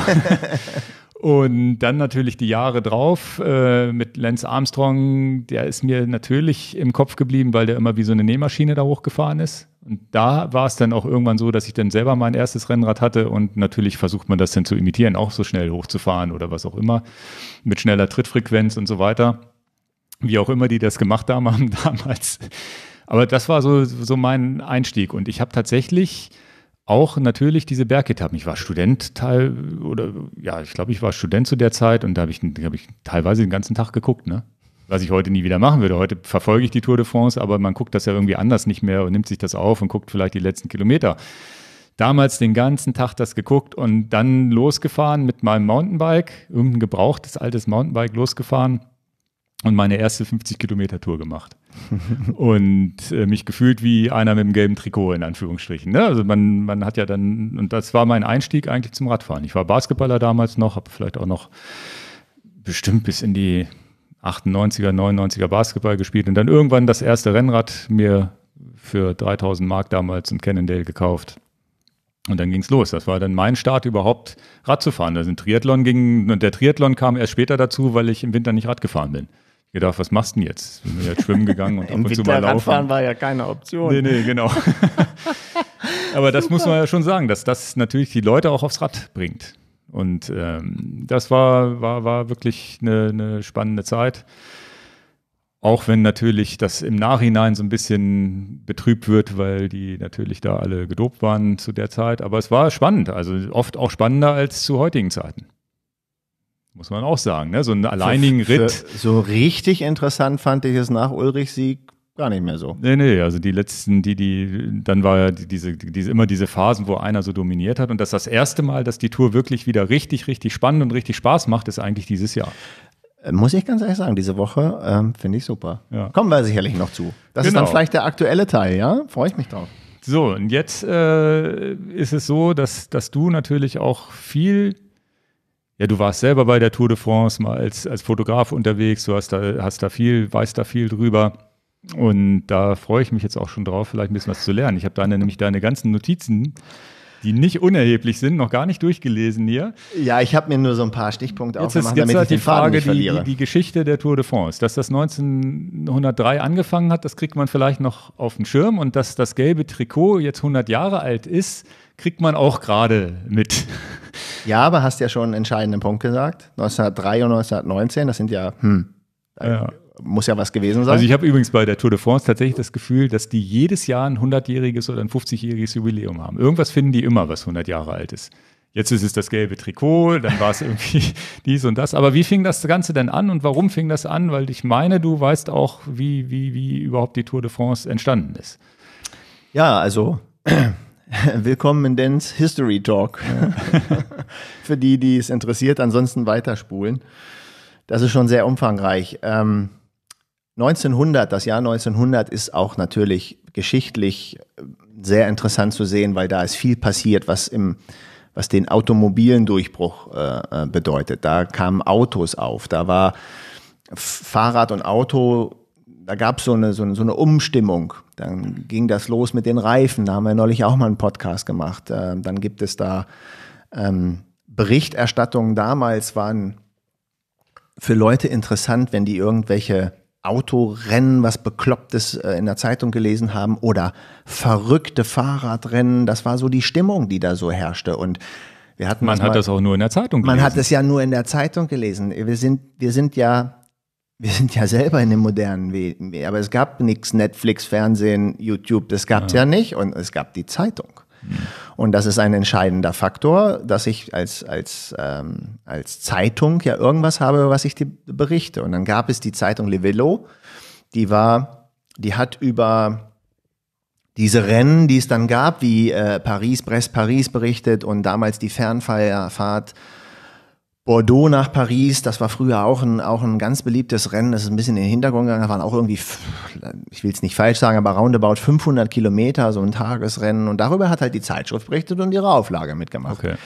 Und diese Zeitschrift hatte eine, eine politische Meinung. Da gab es so eine Affäre, eine Dreifuß-Affäre, der können wir jetzt nicht drauf eingehen, aber die hatte eine politische Meinung, die sich mit vielen anderen Industriellen politisch nicht gedeckt hat. Zum Beispiel mit der Meinung von Herrn Clement, mit Herrn äh, äh, Dion, woher die Automarke entstanden ist, Dion Botten und äh, die, die Michelin-Brüder. Und die haben sich damit nicht politisch geeinigt. Und die haben dann gesagt, wir machen eine eigene Zeitung. Okay. Also die Zeitung, die eigentlich über die Radrennen berichtet hat, die wollten sie nicht mehr unterstützen. Und dann haben sie eine eigene Zeitung gemacht. Die hieß dann Leoto Velo. Also Auto, Fahrrad. Mhm. Das heißt, die eine Zeitschrift, ich sage es jetzt in Deutsch, hieß nur Fahrrad. Und das Konkurrenzblatt, was dann auf den Markt kam, auch um die Jahrhundertwende, hieß dann Auto und Fahrrad. Mhm. Dann, wie es dann, dreimal darfst du raten, zu welchem Streit es natürlich kam. Was glaubst du? Was war der erste Streit? Zeitschrift 1 gegen Zeitschrift 2. Du ja. kannst die Zeitschrift nicht auch Fahrrad nennen. Ach so, okay. Das heißt, ja, ja. Namensrechte. Und dann kommt dieser kuriose Moment, den wir uns mal überlegen müssen. Die eine Zeitschrift heißt Fahrrad und die andere Zeitschrift heißt Auto. und die Zeitschrift Auto muss natürlich jetzt und unterstützt übrigens von den Herren, denen ich gerade gesagt habe, ja, also äh, ähm, die mussten natürlich jetzt äh, Stoff bringen, worüber die Zeitschrift berichten konnte. Und natürlich ist es ja alles, der Clement hat ja den, den, den Citroën unterstützt und, und die Auto, der damals der Auto. Clement ist der Herausgeber oder wie? Nee, waren die, das, im Prinzip sind es vier Leute, die diese, diese Zeitschrift finanziert haben. Ich muss okay. es kurz mal eben, ich hatte es nochmal. Adolphe Clement, dann der hat den André Citroën später mal unterstützt, die Michelin-Brüder waren dabei und ich kann es so schlecht aussprechen, äh, der damalige Hersteller also Dijon ja, Button. Ist ja im Grunde eine Lobbyzeitschrift dann. Ist genau, Lobby, richtig, ja, ja. genau, eine Lobbyzeitschrift. Aber eigentlich alles Autoindustrie, ja? Ja, ja. Alles, alles Auto. Das, die Zeitschrift hieß ja auch Le Auto. Ja, ja. Mit dem Problem, dass Autorennen dann verboten wurden. Okay. Weil es zu viele Tote damals gab. über was soll denn jetzt die Zeitschrift berichten? Ja, ja. Und dann gab es den, den, den eingesetzten äh, äh, Chefredakteur, den man dann äh, äh, als Gründervater nennt, ist dieser Henri Desgrange. Der hat dann, der auch Rennfahrer war, ähm, und der hat dann gesagt, mit der Idee kamen die dann in der Redaktion, wir müssen vielleicht mal was machen, nicht ein, nicht ein Tagesrennen, so wie jetzt zum Beispiel bei Bordeaux nach Paris äh, oder, oder was es dann alles so für Rennen damals gab, ähm, sondern wir machen eine Rundfahrt. Mhm. Eine Tour durch äh, Frankreich. Und dann ist es natürlich klar, es gab auch Geld. Das, die haben dann, glaube ich, 20.000 Francs ausgerufen und der Sieger sollte 3.000 oder 4.000 Francs kriegen und haben das halt in der Zeitschrift beworben. 1903, wir planen eine Rundfahrt durch Frankreich und ihr kriegt alle Geld. Mhm. Also mit Geld gelockt. Rein, mhm. rein, es war so eine Sache. Und wenn man jetzt sich über. Aber Rennfahrer gab es ja dann schon, ne? Rennfahrer, Profifahrer gab es ja schon. Obwohl es gerade noch gar nicht richtige Straßen gab. Nee, genau. und das war also, jetzt habe ich viel erzählt, aber damit ist es losgegangen, im Prinzip eine Automobilzeitschrift musste ja irgendwas haben. Okay. Und die haben dann im Prinzip über die Tour de France berichtet. Und dann ging es los mit dem der allerersten Tour de France, hast du richtig ersagt, dann 1903 mit einem, mit einem Budget von diesen ungefähr 20.000 Francs. Jetzt müsste man natürlich mal überlegen, was äh, das, was also ein, durchschnittlich, Millionen, ne? ein durchschnittliches Jahresgehalt in der Jahrhundertwende in Frankreich war vielleicht 600 Francs, 5, 6, mhm. 700 Francs, damit man mal überlegen kann. Also es war schon Geld. War schon richtig Geld. Ja. Damit haben die halt äh, ähm, äh, gelockt. Und dann äh, gab es die erste Tour de France, waren sechs Etappen. Jetzt habe ich die Zahl mir gar nicht rauskopiert und rausgeguckt, aber irgendwie 2400 Kilometer roundabout auf sechs Etappen verteilt. Also ganz anders, als wir es heute gewohnt sind. Heute ist die Strecke nicht viel länger, aber mehr Etappen. Mhm. Und die Etappen wurden dann aber mit Pausen gemacht. Also nicht eine Etappe, am nächsten Tag die nächste, sondern eine Etappe, Pause, bisschen warten, nächste Etappe. Okay. So, war, so waren die Anfänge der Tour. Und einzelne Personen. Also Person A gegen Person B, keine Teams. Ja, ja. Da gab es ja auch noch kein, das Teamfahrzeug wäre auch teuer gewesen. Ne? Das Teamfahrzeug wäre unbezahlbar gewesen. Wir hatten genug Probleme, alles zu kontrollieren, dass die auch nicht schummeln. Und ja, es wurde ja. viel geschummelt. Ja, aber ist das denn nicht so ein bisschen vergleichbar wie heute mit den Brevets, wo man an irgendwelche Stempelstellen fährt? Genau. Nur bei den Brevets hast du nichts davon, wenn du schummelst. Genau. Bei der Tour de France kriegst du Geld. Ja, ja. Okay. Also das ist ja, das ist ja der Sumpf, in dem wir später mal kommen, die Tour de France. Seit 1903 geht es um Lug und Betrug und Schummeln und Doping und es geht ja auch um Geld. Ja, ja, ja, klar. Das ja. war schon bei der ersten so. Okay. Da sind Leute in Autos gestiegen und haben oder haben sich am Auto festgehalten, weil es gab ja keine Fernsehkamera. Ja. Da hat der Quentler sich mal 50 Kilometer an den Zitronen gehängt. Den Zitronen gab es auch gar nicht, aber ans Auto gehängt. Ja, ja. Ja, das hat ja Nibali letztens auch geschafft.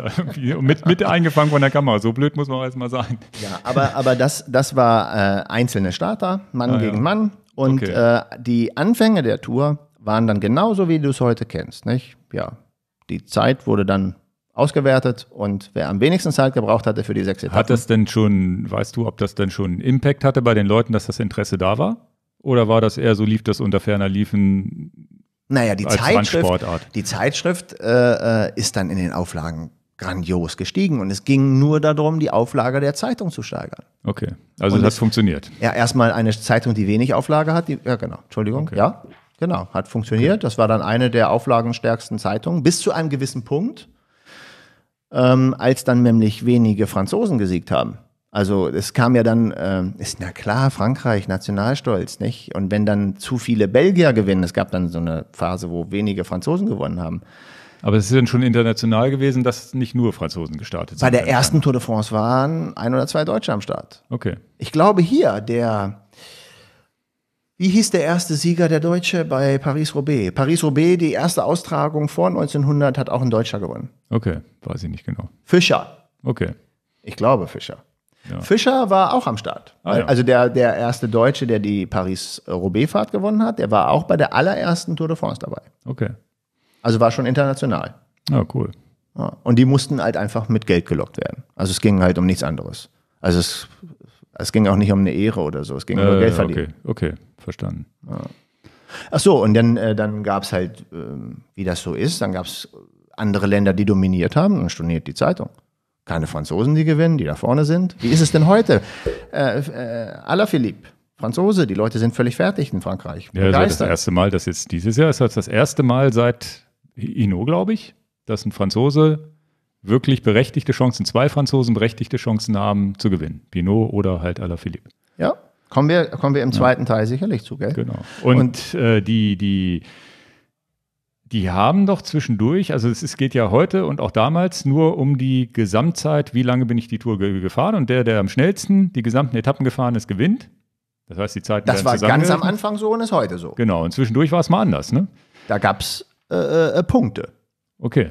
Also die, die Anfänge der Tour waren so, wie sie heute auch sind. Äh, wir, wir wissen ja, ne? Ja, ja. so wie die, die Zeitabstände. Ja, wer das nicht weiß, äh, es wird halt einfach die Zeit zusammengerechnet. Du fährst den einen Tag 10 Stunden, den anderen 5 und dann hast du 15 Stunden und wenn einer 16 Stunden gefahren ist, liegt er hinter dir und wenn einer 14 Stunden gefahren ist, vor dir. Und, und da sind Zeitabstände, da wackeln einem die Ohren, weil die, ich glaube, die, die, die ersten, die sind immer so ein paar Minuten auseinander, aber da hinten, die, das, das, äh, so, so, so irgendwelche Sprinter, die dann die Berge nicht hochkommen, die liegen dann auch mal Stunden hinter, hinter den Führenden. Ne? Das gab es früher auch. Die Anfänge der Tour waren noch schlimmer, weil du durftest gar keine Hilfe annehmen. Also das ist vielleicht auch nochmal ganz interessant. Die Anfänge der Tour waren so, dass du musstest ja, wenn du der Bevölkerung, die so eine, so eine Tageszeitung dann bekommen soll, die musst du ja richtig was bieten. Also lange Etappen von über 400 Kilometern, das war die Regel. Keinerlei Unterstützung. Du, mhm. du Fahrer musst ganz alleine das schaffen. Du darfst dir keinerlei Hilfe nehmen. Das ist ja hochinteressant, weil ich meine, beim Ironman ist es heute auch so, ne? Ja. Darf ja, gut, jetzt, also du als normaler Athlet darfst dann höchstens von den, von den offiziellen Stellen was annehmen. Genau, aber da ist es auch so, als, als, als äh, wir Frodeno die Verletzung hatte am Rücken und sonst wie keine Behandlung. Ja. Er muss selber klarkommen. Und dem, dem Reifenwechsel, bei dem wir jetzt auch besprochen hatten, bei Lange, muss der selber machen. Reifenwechsel? Kann nicht. Ja, ja. Das waren auch die Anfänge bei der Tour und dann, weil wir das mit den Zeitabständen gab, es gab so ein, so ein klassisches Ding, wo einem mal die Gabel gebrochen ist auf dem Abfahrt vom Tourmalet und dann äh, ist er, wird auch, glaube ich, immer erzählt bei der Tour. Ja. Dann hat er das Rad geschultert und ist in, runtergegangen vom Berg in die Schmiede. In der Dorfschmiede musste er selber, er musste selber seine Gabel schmieden und in Ordnung bringen. Das er durfte konnte, nicht der Schmied durfte, machen. Das durfte nicht der Schmied machen. Es kommt noch besser, wie man, dann, Entschuldigung, wir sind im History Talk hier. Und wenn du eine, eine, Schmiede kennst, also ihr habt jetzt, ihr hört jetzt den Ton, aber ihr wisst ja, dass man bei einer Schmiede ja Luft betätigen ja, ja. muss, also einen Blasebalg betätigen muss. Also muss den Blasebalg betätigen und schmieden. Und er hatte einfach einen Jungen gesagt, hier betätige mal den Blasebalg, ich schmiede hier. Dafür hat er eine Strafe gekriegt. Ah. okay. Also das war das, das war das äh, Thema, wir schweifen ab, das war das ähm, keine Hilfe, einzelne Fahrer und ja. Zeitwertung. Und dann hat er irgendwie damals, um die Story zu Ende zu machen, mal locker vier Stunden verloren. Vier Stunden, weil pff, Schmiede. Und dann kam ein anderes System mal zwischendrin rein. Das war dann einfach Punkte. Das mhm. heißt, du, du gewinnst die Etappe als Erster, hast du einen Punkt. Du kommst als Dritter rein. Jetzt weiß ich nicht, ob es zwei, drei, vier, fünf Punkte ja, war, das weiß ich nicht mehr. Aber du kriegst halt je nachdem einen höheren Punkt, okay. äh, wenn du später reinkommst. Und derjenige, der nach den sechs oder zehn Etappen, es wurden ja mehrere Etappen, am wenigsten Punkte hatte, dann hat derjenige gewonnen, der am wenigsten Punkte hatte und nicht okay. die Zeit. Verstanden. Das war mal zwischendurch eine andere ja, Sache. Und was fändest du denn heute besser? Ich finde das mit der Zeit nicht doof. Mhm. Das ist halt die Frage. Ja, aber natürlich gibt es auch nur eine bestimmte Fahrerkategorie, die das gewinnen kann, durch die Berge und Zeitfahren und sonst wie. Und so ein Sprinter, der geht ja halt immer leer auf, aus, was das Gesamtklassement Stell dir angeht. mal vor, die würden heute ein Reglement machen, du hast 150 Fahrer und es gibt 1 bis 150 Punkte zu verteilen. Wer am wenigsten Punkte hat. Ganz, ganz schwierig, weil du natürlich, natürlich wenn du die Etappen entsprechend legst, dass die Sprinter gewinnen können, dann kriegen die die Punkte. Und bei, bei 20 Fahrern oder 40 Fahrern äh, über 400 Kilometer mit Abständen von zig Minuten, da konntest du auch jeden stoppen, äh, wer ja, ja. jetzt Platz 1, Platz 5, Platz 10 ist. Ja, ja heute geht es ja elektronisch auch mit der ja, Zeitstoppung viel einfacher. Wobei ja heute auch immer noch Regeln jedes Jahr geändert werden. Die Strecken ändern sich. Ne? Die Strecken sind viel kürzer als noch vor 15, das, 20 Jahren. Ähm, das ist auch äh, ein sehr schöner Punkt. Um das, das Rennen sagst. spannender zu gestalten. Dann gibt es Zeitbonifikation, die es dann mal gab, mal wieder nicht gab, ne, wo du dann mal sechs Sekunden oder sowas im, im Ziel nochmal zusätzlich kriegst. Da hat der Alaphilippe auch natürlich, äh, glaube ich, min, ich glaube mindestens 30 Sekunden jetzt äh, noch eingesammelt. Das, das ist auch eine sehr gute Und äh, wenn wir auch bei den Punkten sind, äh, sich äh, selber nur helfen gibt es ja eine ganz kontroverse Diskussion auch darüber, was heute alles erlaubt ist die, die Fahrer haben Funk. Das heißt, es wird durch Funk durchgesagt, oh, wer ist in der Ausreißergruppe? Und dann wird halt hinterhergestiegen oder nicht hinterhergestiegen, je nachdem, wer da ist. Und dann gab es eine Etappe jetzt auch wieder aktuell, das kann man, glaube ich, jetzt mal zwischen mit reinschieben, wo 40 oder 45 Leute in der, in der, in der Fluchtgruppe drin waren. Aber die Teams mindestens eine halbe Stunde gebraucht haben, um erstmal zu wissen, ob sie die gehen lassen können oder nicht. Weil wenn da einer aus einer zu nah am Gesamtklassement ist, lässt man die natürlich nicht gehen. Und diese ganzen Hilfen, die man heutzutage hat, da hat äh, die Sache, ja, soll man Powermeter verbieten, weil die Leute nur noch auf ihr Display gucken und nicht mehr sozusagen in die Vollen gehen und nicht mehr überpacen, weil sie ja genau wissen, wie viel Power sie treten können. Da gibt es ja immer wieder kontroverse Diskussionen, darf das genutzt werden oder nicht. Also da. Und die äh, Tour hat immer viel geändert. Ja, ja. Also so wie wir sie kennen, war sie nicht immer. Und diese Diskussion kam in den letzten Jahren auch auf, weil es halt auch zugegebenermaßen die letzten Jahre auch immer langweiliger wurden, ne? muss man auch sagen. Ne? Die, und die Kultur hat immer wieder gedreht, weniger mit, also die Zeitfahren alleine, 27 Kilometer Zeitfahren nur noch. Statt 50, die wir früher von Jan Ulrich 50, Es gab Zeitfahren 130. Ja, und jetzt sind es gab mal eine, ein Zeitfahren, Entschuldigung, aber fällt mir gerade mal so ein, es ist ja, die Tour lebt ja auch von Anekdoten, da wurde mal ein Zeitfahren von ich glaube, 130 Kilometer gemacht und da hat ein Fahrer mal Thema Reglement, Reglement ein, ein, ein äh, künstliches Trikot, nicht künstlich, wie nennt man das denn? Ein synthetisches Trikot getragen ja. und kein Wolltrikot. Das war verboten. Okay. Gab es Strafe. Ja.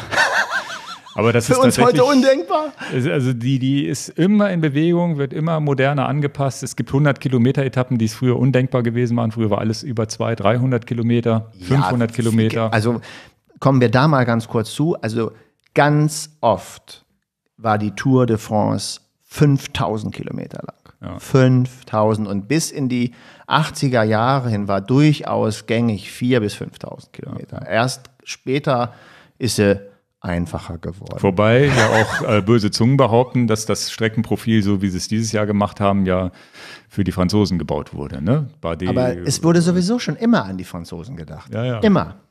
Waren denn nicht, äh, gab es nicht auch mal eine Zeit, wo es gar nicht um die Einzelpersonen ging, sondern um Mannschaften? Nee, es ging immer um die Einzelpersonen, aber okay. Hauptsache, also für die Zeitung war nur wichtig, Hauptsache es gewinnt ein Franzose und kein okay. Belgier. Oder ja. wer anders. Ja. Und dann haben sie umgestellt. Dann auf die, haben sie, aufs Punktesystem? Nee, auf Nationalmannschaftsteams. Ach so, das meine ich ja damit, genau. Das heißt, es war dann mal eine Zeit, wo dann. Also, wir waren ja, jetzt sind wir in der History, also es, die Anfänge waren eine Person, die nächste Person und alle Unternation also nicht Freunde untereinander, keine genau. Helfer, alle, jeder gegen jeden und die ja, Nationalitäten ja. gemischt. Als dann so viele Belgier gewonnen haben und die Auflage stagnierte, kam dann äh, die Redaktion auf die Idee, wir machen Nationalmannschaften. So. Und das, was wir heute kennen, sind ja kommerzielle Teams. Hm. Team Sky oder was wir jetzt halt äh, oder mit unterschiedlichsten oder, oder Nationalitäten. Jumbo ne? oder wie du weißt ja, wie die ganzen Na Teams gut, es gibt immer noch äh, dem, die Tina-Teams werden Ländern zugeordnet. Also Bora Hansgrohe ist ja, ein deutsches Team. Richtig, aber es fährt ja auch Peter Sagan drin. Genau, genau. Der ist nicht deutsch. Ja, ja. Und das war damals dann nicht so. Die Idee war dann, Nationalmannschaften bei der Tour de France an den Start zu schicken. Also die deutsche Nationalmannschaft die französische Nationalmannschaft, ich kriege nicht alle auf die Kette, ich versuch's mal. Die deutsche war dabei, die französische war dabei.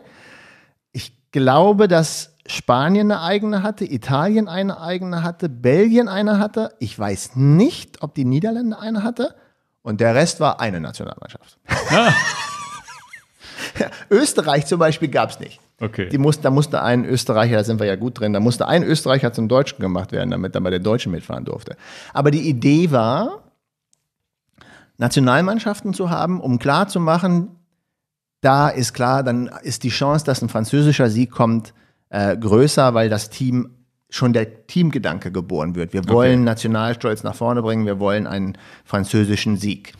Und das hat auch sehr gut funktioniert. Die Auflage ist wieder gestiegen. Also ja, die ist dann irgendwann mal, glaube ich, auch weit über 100.000. Als auch. Aber das war äh, das System Nationalmannschaften und als Weiterführung des Nationalmannschaften, damit auch ganz sicher ein Franzose gewinnt, war dann nicht nur die Nationalmannschaft, sondern auch das Helfen erlaubt. Okay. Das, was wir heute ganz normal kennen. Dein Rad ist kaputt, du bist der Teamleader Gerard Thomas Rad ist kaputt, dann kriegt er das Rad vom Teamkollegen, bevor das Auto kommt. Das mhm. war dann der nächste Punkt. Du hast eine National, die französische Nationalmannschaft. Der, der eine, der Führende, hat äh, ein kaputtes Rad, dann kriegt er das Rad von dem anderen Kollegen mhm. und der gibt auf. Also dieser Gedanke, der dann kam, war dieser nicht nur Mannschaftsgedanke, sondern auch das Helfen. Mhm. Und wie wir es dann heute kennen, ist dann praktisch die neueste Generation, dass man halt dann umstellt von Nationalmannschaftsteams auf kommerzielle Teams, so wie wir es heute alles kennen. Okay. Aber das ist so, wie es jetzt ist, ist es ja zumindest seit ich denken kann, sowieso schon immer so und es macht ja im Normalfall auch immer Spaß zuzugucken. Also die Tour ja, ist ja auch heute nicht mehr darauf angewiesen, dass ein Franzose gewinnt, das ist trotzdem ein Spektakel in dem Land. Ja, ja, aber dass ein Franzose gewinnt, das, also, das ja, ist wichtig. Ja, ja. Okay, dann ging es ja irgendwann los mit diesem gelben Trikot. Hast du da Infos zu, wie das mal entstanden ist? Da hast du jetzt ja gerade durch die aktuelle Tour, hat es auch, glaube ich, dann fast jeder mitgekriegt, dass das gelbe Trikot jetzt Jubiläum hat. Ja. Aber ja, die Tour älter ist als das gelbe Trikot. Die Antwort ist ganz, ganz banal. Die äh, Zeitschrift Auto, also Le Auto, die wurde auf gelbem Papier gedruckt. Ah ja. Und deswegen hat man dann, damit der Führende besser im Feld erkennbar ist, war dann 1900 19, deswegen 100 Jahre, hat dann die Zeitschrift gesagt, hier das Trikot, ähm, das gelbe Trikot für den Führenden. Okay. Also ganz banale, also einfach. Und diese anderen Trikots kamen dann nach und nach dazu wahrscheinlich, ne? Ja, du kamst ja gerade zu dem Jubiläum. Ne? Die Tour hat ja immer irgendein Jubiläum, irgendwas lassen sie sich immer einfallen. Zum 50-jährigen Jubiläum, also wann war das 50-jährige Jubiläum? Das kannst du deswegen auch ganz gut wissen. Ja. 53. 53 genau. Ganz gut gerechnet, Hast du super ne? gerechnet, ja, ja. ohne dass wir es aufgeschrieben haben. Was kam dann für ein Trikot zum 50-jährigen Jubiläum? Das grüne Trikot für den okay. Sprinter. Um da denen auch gerecht zu werden, wahrscheinlich. Um denen auch gerecht zu werden, nach dem Punktesystem. Und das hatte dann ein, ein französisches Bekleidungsgeschäft, den Namen kann ich nicht aussprechen, da kam ich vielleicht zu, dass meine Nichten helfen mir immer. Ja, ja. Der hat dann, weil die Farbe grün war, hat dann das Grün genommen. Okay. Und das rot gepunktete kam dann noch später? Ja, aber ich weiß nicht mehr wann. Das das, muss ich glaube, das haben die Franzosen auch erfunden, damit ein Franzose überhaupt was abkriegt. Ne? Das war ja dann Virenque damals, der dann zwar die Tour nicht gewinnen konnte, weil er Zeitfahren nicht konnte, aber trotzdem hast du über das gebunktete Trikot ja, also da kann man ja generell mal drüber sprechen, dass die Tour ja nicht nur davon lebt, Gesamtsieger zu werden, sondern jede Etappe, die du gewinnst, das Bergtrikot, das grüne Trikot, alles, was du da gewinnst, ist für dich als Radsportler, glaube ich, extrem wertvoll, weil es deinen persönlichen Wert steigert deine, naja, deine Pokalsammlung steigert und die äh, und, und ich habe jetzt äh, Bücher über Radsportler gelesen, ähm, die, die, was, jetzt komme ich nicht mehr auf den Namen. Der eine, der jetzt auch ausgestiegen ist hier aus Deutschland, der mit dieser Magersucht zu kämpfen hatte. Wieso komme ich denn da jetzt nicht drauf? Egal. Jedenfalls, wenn man das liest, diese Bücher von Radsportlern aus der zweiten Reihe, und da war ein zweites Buch auch, wo so ein Helfer, ich verlinke das mal, ich komme nicht auf die Namen, ich kann mir ganz schlecht Namen merken der war, aber das Buch war auch interessant, der war der, einer der besten Domestiken, der, also Domestik, also der Helfer, als Helfer und hat das auch mal erklärt, wie das so ist als Helfer. Dieser normale Radsportler, der hangelt sich ja von Vertrag zu Vertrag. Die haben maximal zwei Jahresverträge, verdienen auch nicht viel, vielleicht mal so am Anfang so, wenn sie einsteigen, so 30.000 Euro und dann, wenn sie Glück haben, irgendwann mal ein, 200.000 im Jahr oder mal auch noch mehr. Aber so viel mehr ist für so einen Helfer auch nicht drin. Das heißt, jeder dieser Siege dort oder du bist nur in der Tour de France Siegermannschaft mit drin. Das heißt, ein Ineos-Fahrer, der ist, der die Tour de France, wo, wo, wo Froome die Tour de France gewinnt und er war Helfer. Das heißt, das hat ja einen enormen Stellenwert, da überhaupt irgendwas zu gewinnen. Eine Etappe, ja, ein Trikot oder eben die Gesamtwertung. Wir können über, über, über Geld, da gibt es vielleicht einen extra Punkt, den du dir notieren willst. Da kann ich echt viel erzählen, wenn es denn die Leute ja. interessiert, wie es denn so zu, zustande kommt und wie es denn ja, ja, gerne. Können wir auch jetzt mit reinschieben. So ist es ja nicht, wenn wir schon mal da. Naja, in der Regel ist das ja, wenn du überlegst, ähm, die Tour hat ja keine Eintrittsgelder. Mhm. Also die Leute, die da an der Straße stehen, etc., da gibt es ja schon mal gar keine Einnahmen. Mhm. Also die Tour lebt ja tatsächlich davon, dass die Etappenorte Geld bezahlen. Wo startest, wo kommst in? Wenn, okay. du glaubst, die Ortschaft ist einfach zufällig ausgewählt. Nein, das kostet alles Geld. Ah, ja. Heutzutage redet man, also die Zahlen, also die Organisation der Tour ist eine private Geschichte. Okay. Und die sind nicht gerade zugänglich mit ihrer Veröffentlichung von den Zahlen. Mhm. Also nicht ganz so einfach, aber mich interessiert Wirtschaft brennend. Ein bisschen kriegt man dann ja so mit. Und in der, so was so durchsickert ist, dass sie so vielleicht mit einem Gewinn von 20, 30 Millionen dann so rausgehen, ist ja nix. Mhm. Ist ja, wenn wir uns mal, das soll der Gewinn sein, ist ja ein Witz. Überleg mal, was die Fußballvereine da so durchhauen. Und, ja, ja. Äh, das soll der Gewinn sein? Nach so? Das ist ja ein Pups. Und die das nehmen, heißt, du meinst, die machen mehr oder die machen, Der Fußball macht ja viel mehr. Nee, also, ich meine, du, du meinst, die Tour de France macht mehr, als sie da sagen. Nee, nee, nee, nee. Aber ich wollte nur sagen, es ist schwer, an die Zahlen zu kommen. Also mhm. wollte damit sagen. Und diese Etappenorte müssen dann auch schon mal über 100.000 Euro auf den Tisch legen um da überhaupt dabei mhm. zu spielen, also weit drüber wahrscheinlich. Und im, im, im also das Geld, zu was, was auch zu verteilen ist, ist auch nicht so viel, weil es wird ja auch, also es gibt ja im Prinzip keine Einnahmen durch Stadien oder irgendwas. Ja, ja. Und es gibt ja auch nur Und diese, die Preisgelder es, sind jetzt auch nicht das, wo der Radsportler von lebt. Das wollte ich gerade sagen. So der, der Toursieger, der geht da mit einer halben Million nach Hause. Dafür tritt ein Tennisprofi, äh, der, ja. der, der, der, der spielt kein Tennis mehr, wenn er so wenig Geld kriegt. Aber das Tour, der, ein Toursieg, der holt natürlich, das Geld wird dann woanders reingeholt, über Sponsorings und ähnliches. Genau, ne? und der Toursieger ähm, äh, hat natürlich dann Einladungen und der Name und geht ja. dann zu dem Rennen. Und normalerweise, also, meines Wissens, gibt es ein Tour, ist das, kriegt der, das Preisgeld des Toursiegers auch nicht der Toursieger, sondern die Mannschaft. Das wird da. Na, ich glaube, der Toursiege, das weiß ich nicht, ob das. Äh, aber ich weiß, dass die anderen Gelder, die eingesammelt werden, also was du gerade sagtest, für Etappensieg und, und ja, alles, was so eingenommen wird, das kommt dann in so eine Mannschaftskasse. Beziehungsweise das wird wahrscheinlich von Mannschaft zu Mannschaft irgendwo geregelt sein.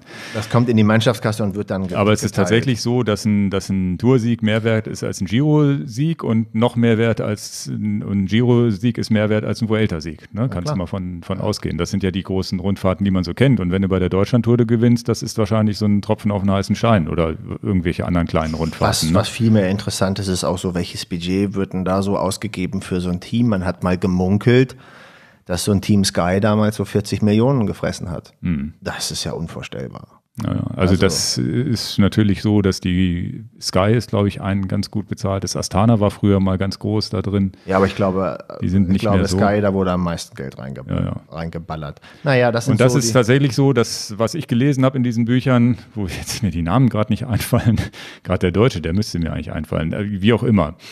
Die, äh, die kämpfen halt um jeden Vertrag. Das heißt, wenn du ein schlechtes Jahr hast, du bist verletzt oder sonst wie, dann wird dein Vertrag aufgelöst, du kriegst keinen neuen oder, oder, oder der, dieser, man steigt dann wieder aus aus dem Radsport, weil es einfach nicht geht.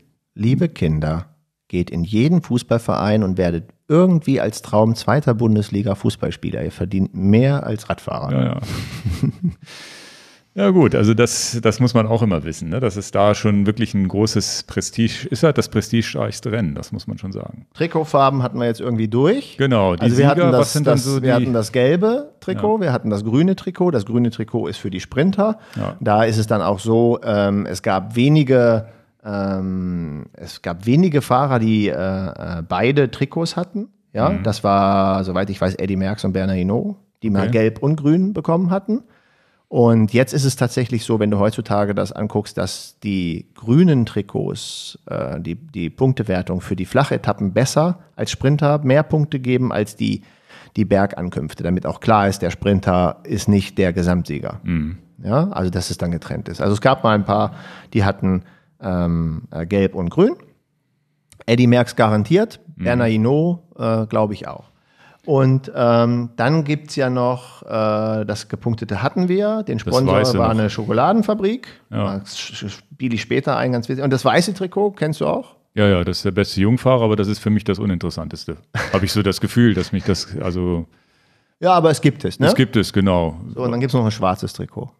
Okay, das habe ich noch nicht gesehen.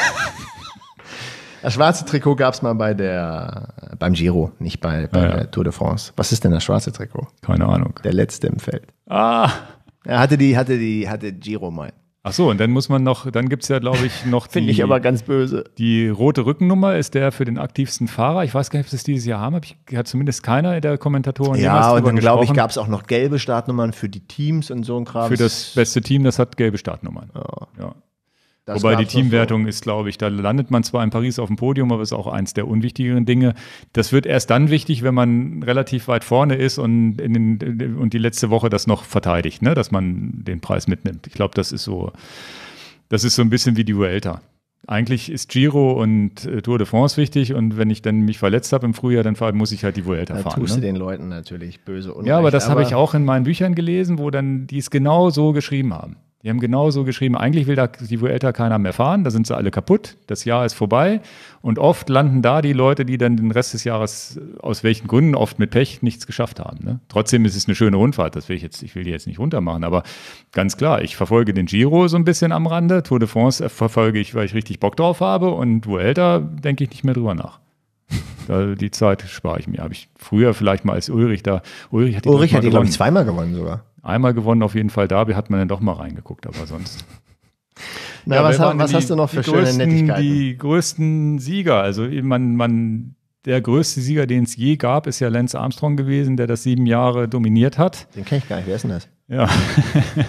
Wie heißt er? Äh, auch nur, ja, der steht auch in keinem Ergebnisliste mehr drin. Ne? Ach, der ist das. Ja, ja. Persona non grata. Also, das sind so, da ich mich, mich historienmäßig damit nie befasst habe, sind tatsächlich für mich die großen Namen Armstrong, Armstrong. Ulrich, Ulrich, natürlich als, als Deutscher. Mhm.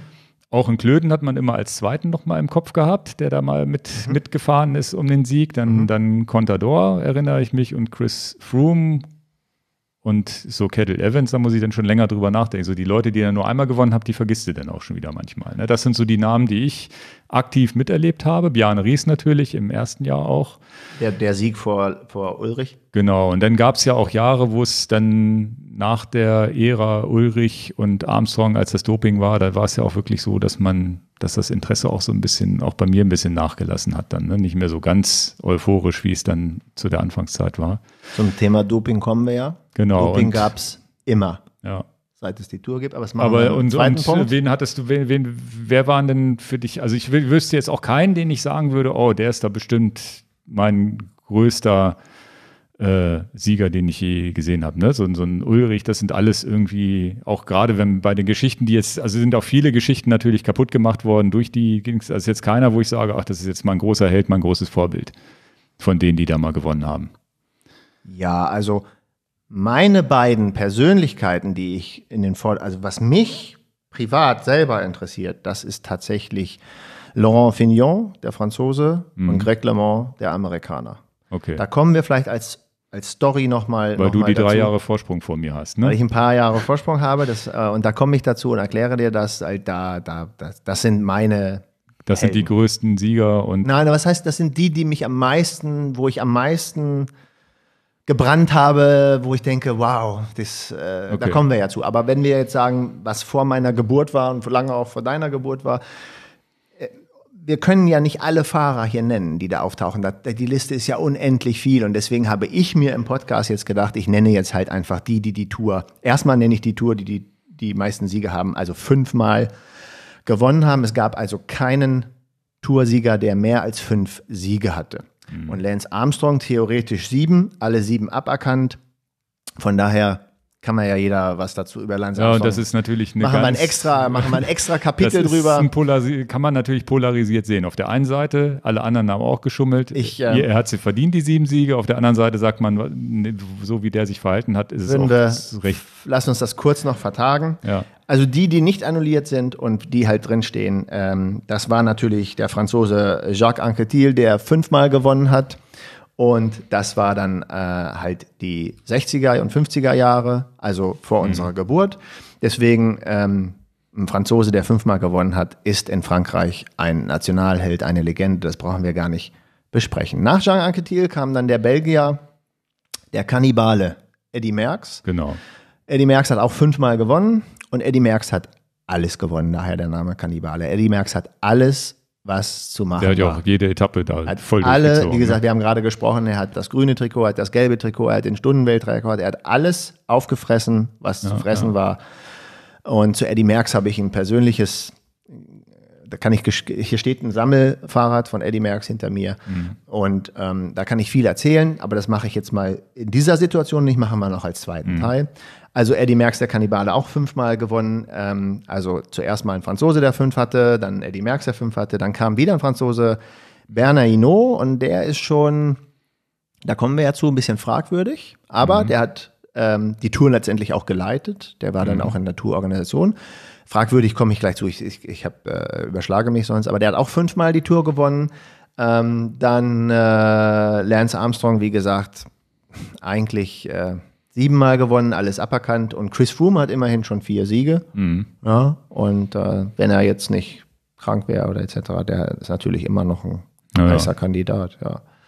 Und Miguel Indurain als äh, Spanier, der dann nach äh, Bernard Hinault kam. Miguel Indurain, äh, der ruhige Fahrer, der wenig ge ge geredet hat, der, der in sich gekehrte. Und äh, der hat natürlich alles dominiert von Jahr zu Jahr, wie Lance Armstrong auch der hat fünf Siege aufeinanderfolgend äh, mhm. eingefahren. Also Miguel Indurain äh, wurde dann abgelöst durch, was du gerade gesagt hast, wo du dann eingestiegen bist. Miguel Rhein wurde abgelöst durch dann Bjarne Ries. Äh, letzter Sieg äh, Miguel Indurain war 1995. Bjarne Ries, der Däne, hat dann 96 äh, gewonnen. Und wo war jetzt der Amerikaner abgeblieben?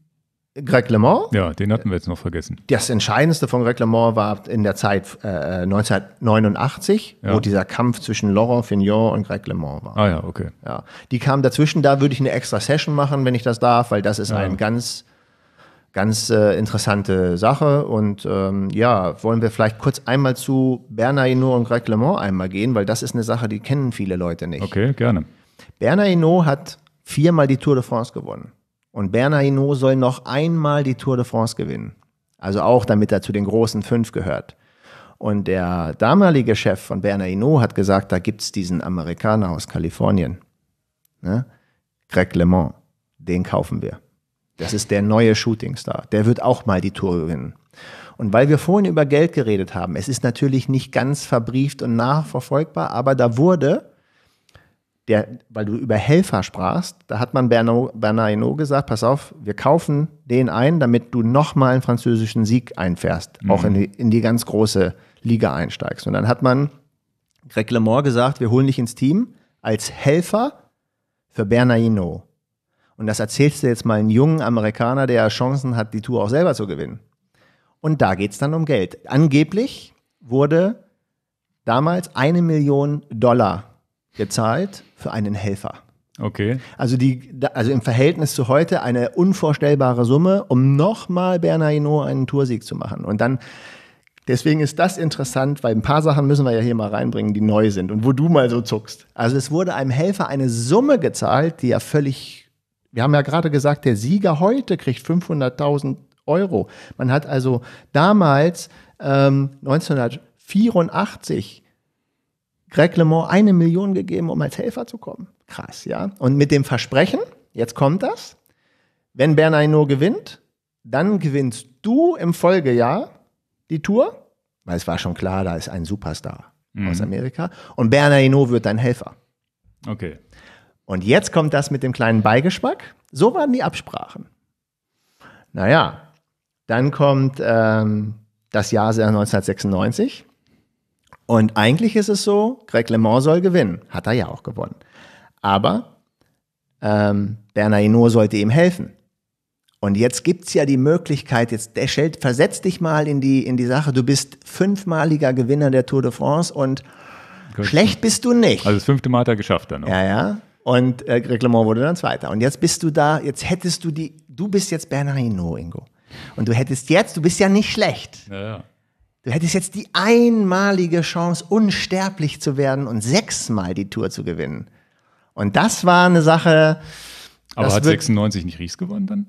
Äh, 86 sind wir, Entschuldigung. Achso, okay. Ja, ja, okay. Entschuldigung, ich habe mir ein Jahrzehnt. schon zehn Jahre. Nein, nein, nein. Ja, okay. ja. Und dann, 86 war dann Bernard Hinault auf dem Ausreißversuch. Und das war ja nicht die Absprache. Ja. Ja, also wir haben dir jetzt schon mal so viel Geld gegeben, damit du deinen fünften Sieg holen kannst und dann einen Ausreißversuch von Greg LeMond zu machen.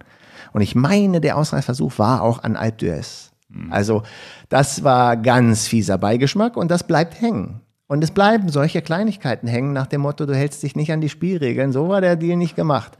Und dann ist aber Greg LeMond ein starker Fahrer schon gewesen und die, die sind dann, äh, er hat dann auch die Tour gewonnen, aber dieser Beigeschmack ist immer geblieben. Okay. Der ist das nie, heißt, äh der ist äh, dann da, und dann hat natürlich Bernard Hinault, das war's dann. Ne? Also mhm. dann kam Greg LeMond, dann kam die Zeit von Greg LeMond und Laurent Fignot, der Franzose, der auch äh, die Tour gewonnen hatte, war 1989 und deswegen ist es das, wo ich sage, deswegen brenne ich für Laurent Fignot und äh, Greg LeMond. Die Tour de France 1989 hat auch was mit diesem Fahrrad, was du hier im Hintergrund hast zu sehen, äh, zu tun. Das ist nämlich ein Zeitfahrrad, hinten Scheibenrad, 28 Zoll. Die Leute, die jetzt nicht YouTube anhaben, hören das jetzt nur auf Ton, aber ich zeige da kurz hin. Das ist ein Zeitfahrrad, wo hinten 28 Zoll Scheibe drin ist, vorne 26 Zoll Scheibe drin ist und die, die, das Zeitfahr 1989 Champs-Élysées, die letzte Etappe, Laurent Fignon klar auf Sieg, letzte Etappe mit, ich weiß nicht mehr welcher Vorsprung, 40, 50 Sekunden Vorsprung oder 30, 40 mhm. Sekunden. Und ein nicht langes Zeitfahren, 20, 30 Kilometer, das kann man ja alles genau nachlesen, mhm. habe ich mir nicht rauskopiert. Da war klar, es wird wieder ein französischer Tour de France-Sieger. Und dann kam Greg LeMond. Aber das erste Mal mit dem Auflieger, ne? Greg, genau, du bist ja gut informiert. Das habe ich mitbekommen, ja, ja. Ja, das erste Mal den Zeitfahrauflieger montiert und das erste Mal einen aerodynamischen Helm aufgesetzt. Und Laurent Fignon auch vorne und hinten Scheibe, so wie du es hier hinter mhm. mir siehst. Deswegen habe ich so ein Rad in meiner Sammlung, weil das, mhm. das ist meine Historie. Ich finde das geil. Aber Laurent Fignon war jemand, der hatte die Brille und hatte einen Zopf, wehendes Haar.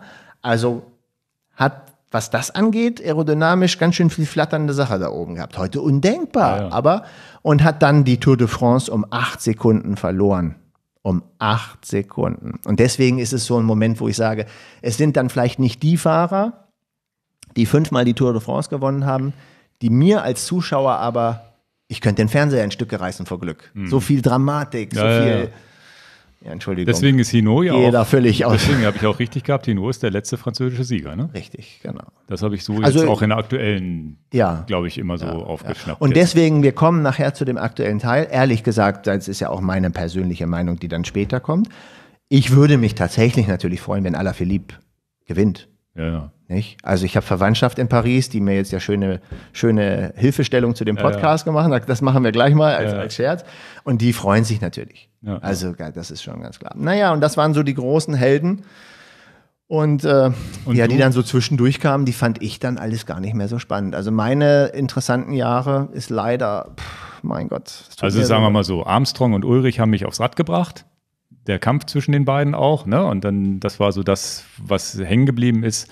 Aber so heroisch heute im Nachhinein mit den ganzen Geschichten, die dazugehören, auch mit aktuellen Geschichten, die dazugehören, von Ulrich und sonst wie, da denke ich immer, oh Jungs, so richtige Charaktere war die auch nicht. Jens Vogt war doch finden noch mal musste. eine Charaktere, die man alle, die viele gut Jens Vogt, ja. Das ist übrigens eine ganz lustige Geschichte.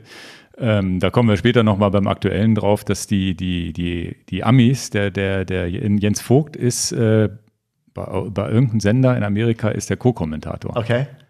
Und Jens Vogt spricht so richtig Denglisch, ne? Also so richtig deutschen Akzent. Ne? Das, da wird auch gerne mal drüber gelästert. Aber der ist in Amerika ja viel, viel populärer als, wie, als, als hier in Deutschland. Jens Vogt ist in Amerika ein, der Kracher.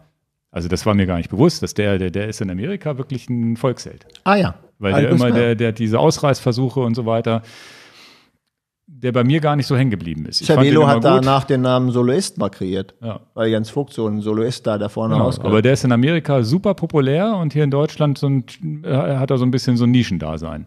Ist ja auch der einzige, dem nie Doping nachgewiesen ist aus dieser Zeit und der es nie irgendwie zugegeben hat. Was nicht heißt, dass er es nicht gemacht haben wird. da, aber, dazu will ich. aber ist, ganz Aber mit- ist aber mit- einer der ganz wenigen, wo nicht nie irgendwie das im Gespräch war. Mit dem, mit dem, wollen wir das machen als kuriose Ja, ja, Sache gerne. Also, meine Nichten äh, gehen in Paris zur Schule, sind sieben und elf. Und äh, ich hatte den gestern, hatte ich die angerufen, habe gesagt, Mensch, morgen habe ich einen Podcast über die Tour de France und etc. Und dann haben die mir gesagt, dass äh, der liebe Onkel, das kannst du nicht. wenn, du, wenn, du, wenn du Französisch sprichst, kriegen wir eine Katastrophe, also kriegen sie eine Krise. Und Ja, die ja. sind sieben und elf. Ne? Und Ja, dann haben wir uns ein bisschen unterhalten und dann äh, sagen sie, nein, bitte nicht, bitte nicht Französisch reden. Bitte gar nicht sagen. Und dann, ähm, dann arbeite ich hier an, an ein bisschen Vortippen. Gestern um 22 Uhr kriege ich WhatsApp-Nachrichten von meinen Nichten. Also wie gesagt, sie sind sieben und elf. Ja. Und einfach nur noch mal so ein paar Sachen, die ich überhaupt schlecht ausspreche. Also wir machen das jetzt so. Äh, ich nehme jetzt mein iPhone und spiele die WhatsApp-Nachrichten Ja, ja. ins Mikro. Soll ich das so machen? Probier das mal, ob das funktioniert. Wir hören sie auf unseren Kopfhörern, ob das. Also die, die Story ist, ähm, wir gucken mal, ob das da ankommt. Aber welches- Das, also alles solche Begriffe wie das gepunktete Trikot, ne, wie Okay. der Sponsor von dem weißt, grünen Trikot denn, sagt. ich, weißt du denn, was was ist, was sie dir darauf Nö, aber ich haben? spiele sie jetzt einfach der Reihe nach an. Also es ist Ja, ja, natürlich okay. der Tourgründer, die Firma, die das grüne Trikot gesponsert hat, ist nämlich eine Schokoladenfirma. Die müssen natürlich die Wie Kinder sagen, ja, Moment, ich kann es ja nicht aussprechen.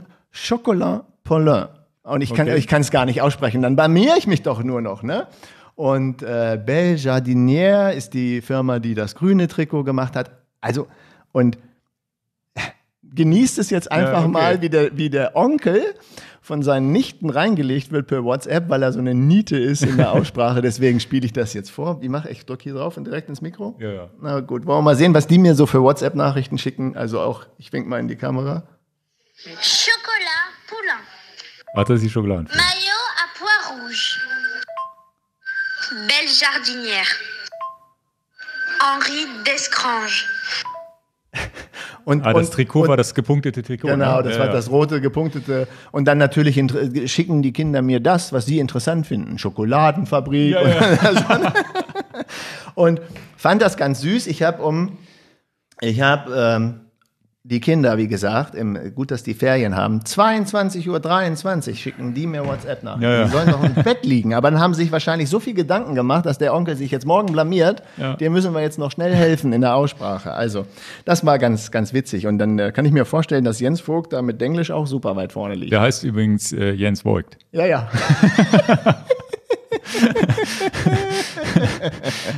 ja, tatsächlich nennen die den da so da drüben. Okay. Ähm, Was hast du auf deiner To-Do-Liste? Genau, dann, Worüber wollen wir noch mal reden? Ja, du hast mir auch damals, als ich dich kennengelernt habe, das hast du mir ja auch schon mal so unterschriebene Fotos geschickt, wo du Leute fotografiert hast bei der Tour de France und äh, die eine oder andere lustige Anekdote zu erzählen, als du bei der Tour selber warst. Also das heißt, du bist tatsächlich so heiß gewesen, hast du da Geld für gekriegt, dass du da mal hingefahren bist? Beides. Erstmal nur privat, ja. einfach äh, rein privat. Dann ähm, gab es die schönen Digitalkameras, die auch äh, es einfach gemacht haben, da auch eben einfach mal Tausende von Fotos zu machen. Ja. Bin dann immer zu den Zeitfahren gereist. Okay. Und äh, weil Zeitfahren hat mich immer interessiert, jeden Fahrer einzeln abzuschießen. Habe alle fotografiert, alle. Okay. Und ähm, das ist ein wichtiger Punkt, dass ich alle Fahrer fotografiert habe. Das ist ein, kommen wir später drauf. Also nicht nur die Klassementfahrer? Ich habe sie alle. Okay. Ich habe alle abfotografiert, zeitfahrenmäßig und dann ab und zu mal ein Bild verkauft. Und ähm, wie dann, hast du die vermarktet? An die Fahrer selber oder wie? Nee, ein Freund von mir in, in Kanada, ich habe ja viele Freunde in Kanada, die haben das an die Zeitschriften in Kanada verkauft. Oh ja, okay. Also ich habe natürlich gar keine Möglichkeiten hier gehabt, mhm. irgendwas zu vermarkten. Aber äh, der war auch mit mir auf Tour, ein guter Freund von mir, Michael. Der hat dann alles in Kanada, also vorwiegend alles in die kanadische Presse verkauft. Und das war ja auch einfach nur, es war völlig egal, wie viel Geld ich dafür kriege. Hauptsache, ich habe Spaß. Ja, also, vor allem die, die, das mit den Fotos, dass du das gut kannst. Du hast mal beim Triathlon in Peine von mir so ein schönes Foto gemacht. Das Beste, also auch ich beim Zeitfahren natürlich. Habe ich ein Foto von also das hast du schon drauf, muss man ja, schon sagen. danke schön. Ich habe jetzt natürlich ein paar Fotos jetzt auf die Schnelle, weil der Podcast erstmal nur gestern in der Planung war, habe ich jetzt gar nicht, nicht, nicht vorbereitet, aber ja. das kann man ja mal nachlegen. Ich habe sie also alle. Ich habe Ulrich Armstrong, ich habe sie alle, Basso, ich, ich habe sie alle. Und dann habe ich, äh, also immer die Zeitfahren habe ich gemacht war nie bei den Bergetappen bis auf Col de la Madeleine. Das war die einzigste Bergetappe, die ich mal mhm. mitverfolgt habe. Bin nie in den Genuss gekommen bei Wie bist du da hochgegangen? Nach, nach Col de la Madeleine ja. mit dem Auto hochgefahren. Also dann da geschlafen oder wie macht man das? Ja, ja, ja, ja. Also wir sind mit dem Auto äh, angereist. Ein Freund von mir, ähm, Steffen, viele Grüße auf diesen Sinne, wenn du das mal hörst. Wir sind äh, zusammen mit dem Auto gefahren, sind den äh, Col de la Madeleine hochgefahren und haben keinen Parkplatz gekriegt am Col de la Madeleine, weil alles voll war.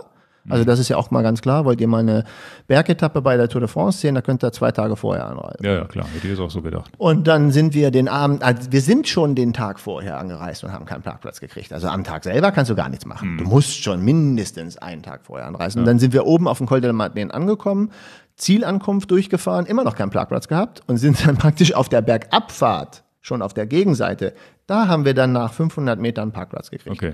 und haben da gezeltet. Mhm. Also ja, heute sieht man ja die Caravans da auch und sowas. Ja, stehen, aber ne? ich kann dir eine Sache sagen, weil wir Tour erleben und wir erleben hier heute ein bisschen im Podcast viel Anekdoten und äh, naja, wir machen das, das interessiert ja. doch den einen. Dann gab es ein Gewitter auf dem Col de la Madeleine da oben.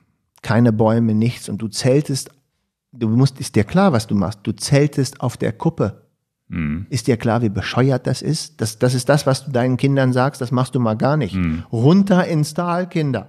Jedem Alpenwanderer erzählst du, wenn das gewittert, runter ins Tal, runter vom Berg und du zeltest da oben.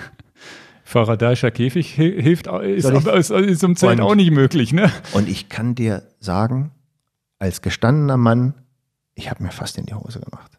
Das, Warum seid ihr nicht zum Auto schnell gelaufen oder ging das nicht? Naja, natürlich sind wir dann ins Auto gegangen, aber du hast ja, du hast das Gefühl, da ist, der Weltkrieg ist um dich drum rum. Es ja. schallt ja ganz anders Gewitter in den Bergen als in Hannover. Ja, klar. Du hast das Gefühl, die Welt geht unter. Ja, das war am Tag vorher.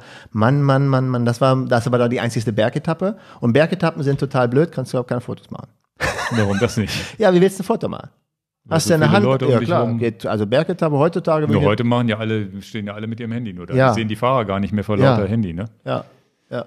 Okay. Ja. Gibt es eine schöne, da erinnerst du mich kurz dran, gibt es eine schöne Geschichte ähm, an Alp d'Huez, wo der eine Fotograf den, den, den, den Italiener runterreißt. Machen wir später als Anekdote. Ja, ja. Und dann, da, dann habe ich die, die Bergetappe, habe ich nur Col de la Madeleine mal gemacht und Bergetappen sind für Fotografen wirklich blöd. Okay. Dann musst du schon wirklich. Äh, Aber die Stimmung ist doch geil. Die Stimmung ist natürlich super gewesen, ganz ja. klar. Also ich wäre, ich würde alles drum geben, mal, ähm, ich frage mal meinen Chef, ob wir mal einen Firmenausflug drei Tage zum, zum Alp d'Huez machen. Dies Jahr ist ja nicht, in, dies Jahr ist nicht in, in der Liste drin. Kein nee, Pontoon, genau. kein Alp d'Huez.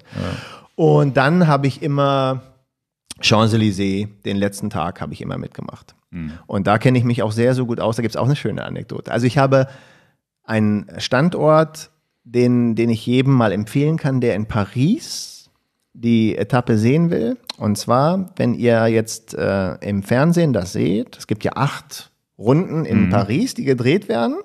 Und der eine Wendepunkt durch so einen Tunnel unten drun ist am Anfang von Rue de Rivoli, eine ganz bekannte Straße in Paris. Die Rue de Rivoli ist eine lange Straße, wo dann auch der Teufelslappen ist, ist der, dieser, dieser mhm. Flamme Rouge, diese letzten 1000 Meter. Und du kannst also die letzten 1000 Kilo, die 1000 Meter der Tour fotografieren, wenn du am Ende der Rue de Rivoli stehst. Das heißt, die Fahrer fahren in die Rue de Rivoli rein und kommen lange, lange auf dich zu. Da musst du stehen. Mhm. Dann fahren sie die Rue de Rivoli, äh, Rue de Rivoli lang. Meine Nichten würden mich steinigen, wie schlecht ich das verspreche. und dann gibt es eine S-Kurve zum Place de la Concorde und dann in den Champs-Élysées zum Sprint.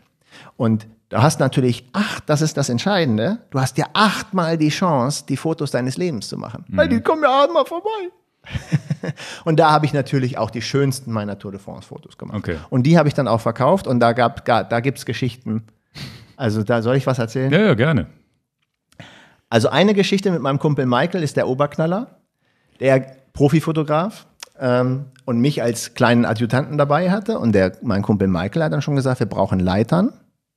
Und das erste Mal, als ich da war, hat er gesagt, pass auf, wir kaufen Leitern, Aluleitern, leichte Leitern mit so fünf Trittstufen. Mhm. So die man so zu Hause zum Bügeln, hätte ich fast gesagt. So diese, diese kleinen. Ja, ja, so klingt so wie so ein Tritt, ja, ja. So, du bist ja hier, enjoy your camera. Ja. Kamera. Jetzt erzähle ich dir was. Ja, ja. Und dann haben wir Leitern gekauft und wir. Ja, einfach für die Perspektive, ne? dass ihr über die Köpfe Du musst ja sehen, könnt. du stehst dann am, am Ende der Rue de Rivoli und willst ja die Fahrer fotografieren. Ja, was machst du denn mit den Deppen, die vor dir stehen ja, und die Hände hochreißen und so? Das geht ja nicht. Die dürfen, und wenn du nicht eine Presseakkreditierung hast, dann hast du gar keine Chance. Ja, ja. Und dann hatten wir halt die Leitern, sind am Abend vorher hingegangen, haben uns mit dem ganzen Equipment und den Schlafsäcken auf, auf, auf den Boden gelegt. Also am mhm. Tag vorher auf den Boden mit dem Schlafsack. Und wer sich überlegt, dass du mit dem Schlafsack wie ein Penner in Paris auf dem Boden schläfst, der, der du denkst, hast ja, nicht alle Tassen. Wart ihr die einzigen oder gab es da mehr? Nö, ja, das ist ja, das ist ja, machen ja viele. Okay. Und aber auch wirklich, um den besten Spot zu haben. Und wenn du dann auch noch sicher gehen willst, dass dich auch wirklich nicht noch einer wegdringt da und du mal den, den Spot verlierst, dann hast du halt die Leitern. So. Also wir machen die Leitern hoch und stehen auf die Leitern und fotografieren und die Bilder und alles super. Und dann hast du natürlich, nachdem das Rennen vorbei ist, auch das Problem, du, damals ist es ja nicht so einfach gewesen wie heute. Wie willst du denn die Bilder nach Kanada schicken? Mhm. So einfach wie heute ist das nicht. Heute kannst du das Handy anmachen per LTE und so. Damals war das gar nicht so. Das heißt, die nächste Sache, die du brauchst, ist, jetzt muss schnell gehen. Die Bilder müssen übertragen werden. Und mhm. dann gibt es eine schöne Story, deswegen sage ich das so. Wir haben also den Tag vorher auf dem Bürgersteig geschlafen. Du weißt das gar nicht, deswegen freue ich mich, dass ich dir das sagen darf. Wir haben also auf dem Bürgersteig geschlafen, wie die letzten Penner. Und als wir dann natürlich da auf diesen Leitern stehen, dann stehst du da ja mehrere Stunden. Du bist da ja, also du sorgst auch für Aufmerksamkeit, also mhm. äh, du bist der, du, das sind die cleveren Typen, die eine Leiter ja, dabei ja. haben. Das heißt, du fällst auch wirklich auf. Und dann hat uns jemand angesprochen, der war Pilot für die FedEx. Äh, hier unsere Transportbutze. Ja, ja, genau. Der war, der war Pilot einer von diesen, von diesen Transportflugzeugen und kam aus USA und weil wir natürlich mit Michael, der kann kein Deutsch, unterhalten wir uns nur Englisch, hat der mitgekriegt, dass wir irgendwie was, ja, wir müssen ja irgendwie entweder Engländer oder Kanadier und er hat natürlich mitgekriegt, dass Michael Kanadier ist und dann hat er uns angesprochen, ob er auch mal vielleicht auf die Leiter dürfte. Ja. Ne? Und, und, und da, das ist natürlich schon so, du hast ja nur acht Runden und dann habe ich ihm die Leiter gegeben, weil ich der schlechtere Fotograf bin und, ich, und dann sagte er hier, du kriegst meine Leiter. Und der war dann so dankbar, dass er auf meiner Leiter stehen durfte und mal live wirklich über die Köpfe von den anderen gucken kann, dass er gesagt hat, ist da was, ich lade dich ins Hotel ein. Äh, aha. FedEx hat für ihre Piloten einen festgemieteten großen Raum in meinem Hotel, also einen Dauer. Mhm wie nennt man das? Eine Dauerbuchung in einem Hotel. Ja, Und natürlich an Rue de Rivoli. Ja. Also ich weiß nicht, ob es das Continental war oder was. Also schon, ja. naja, ein purer Luxus. Und jetzt kommt das, weswegen erzähle ich das als kleine Anekdote.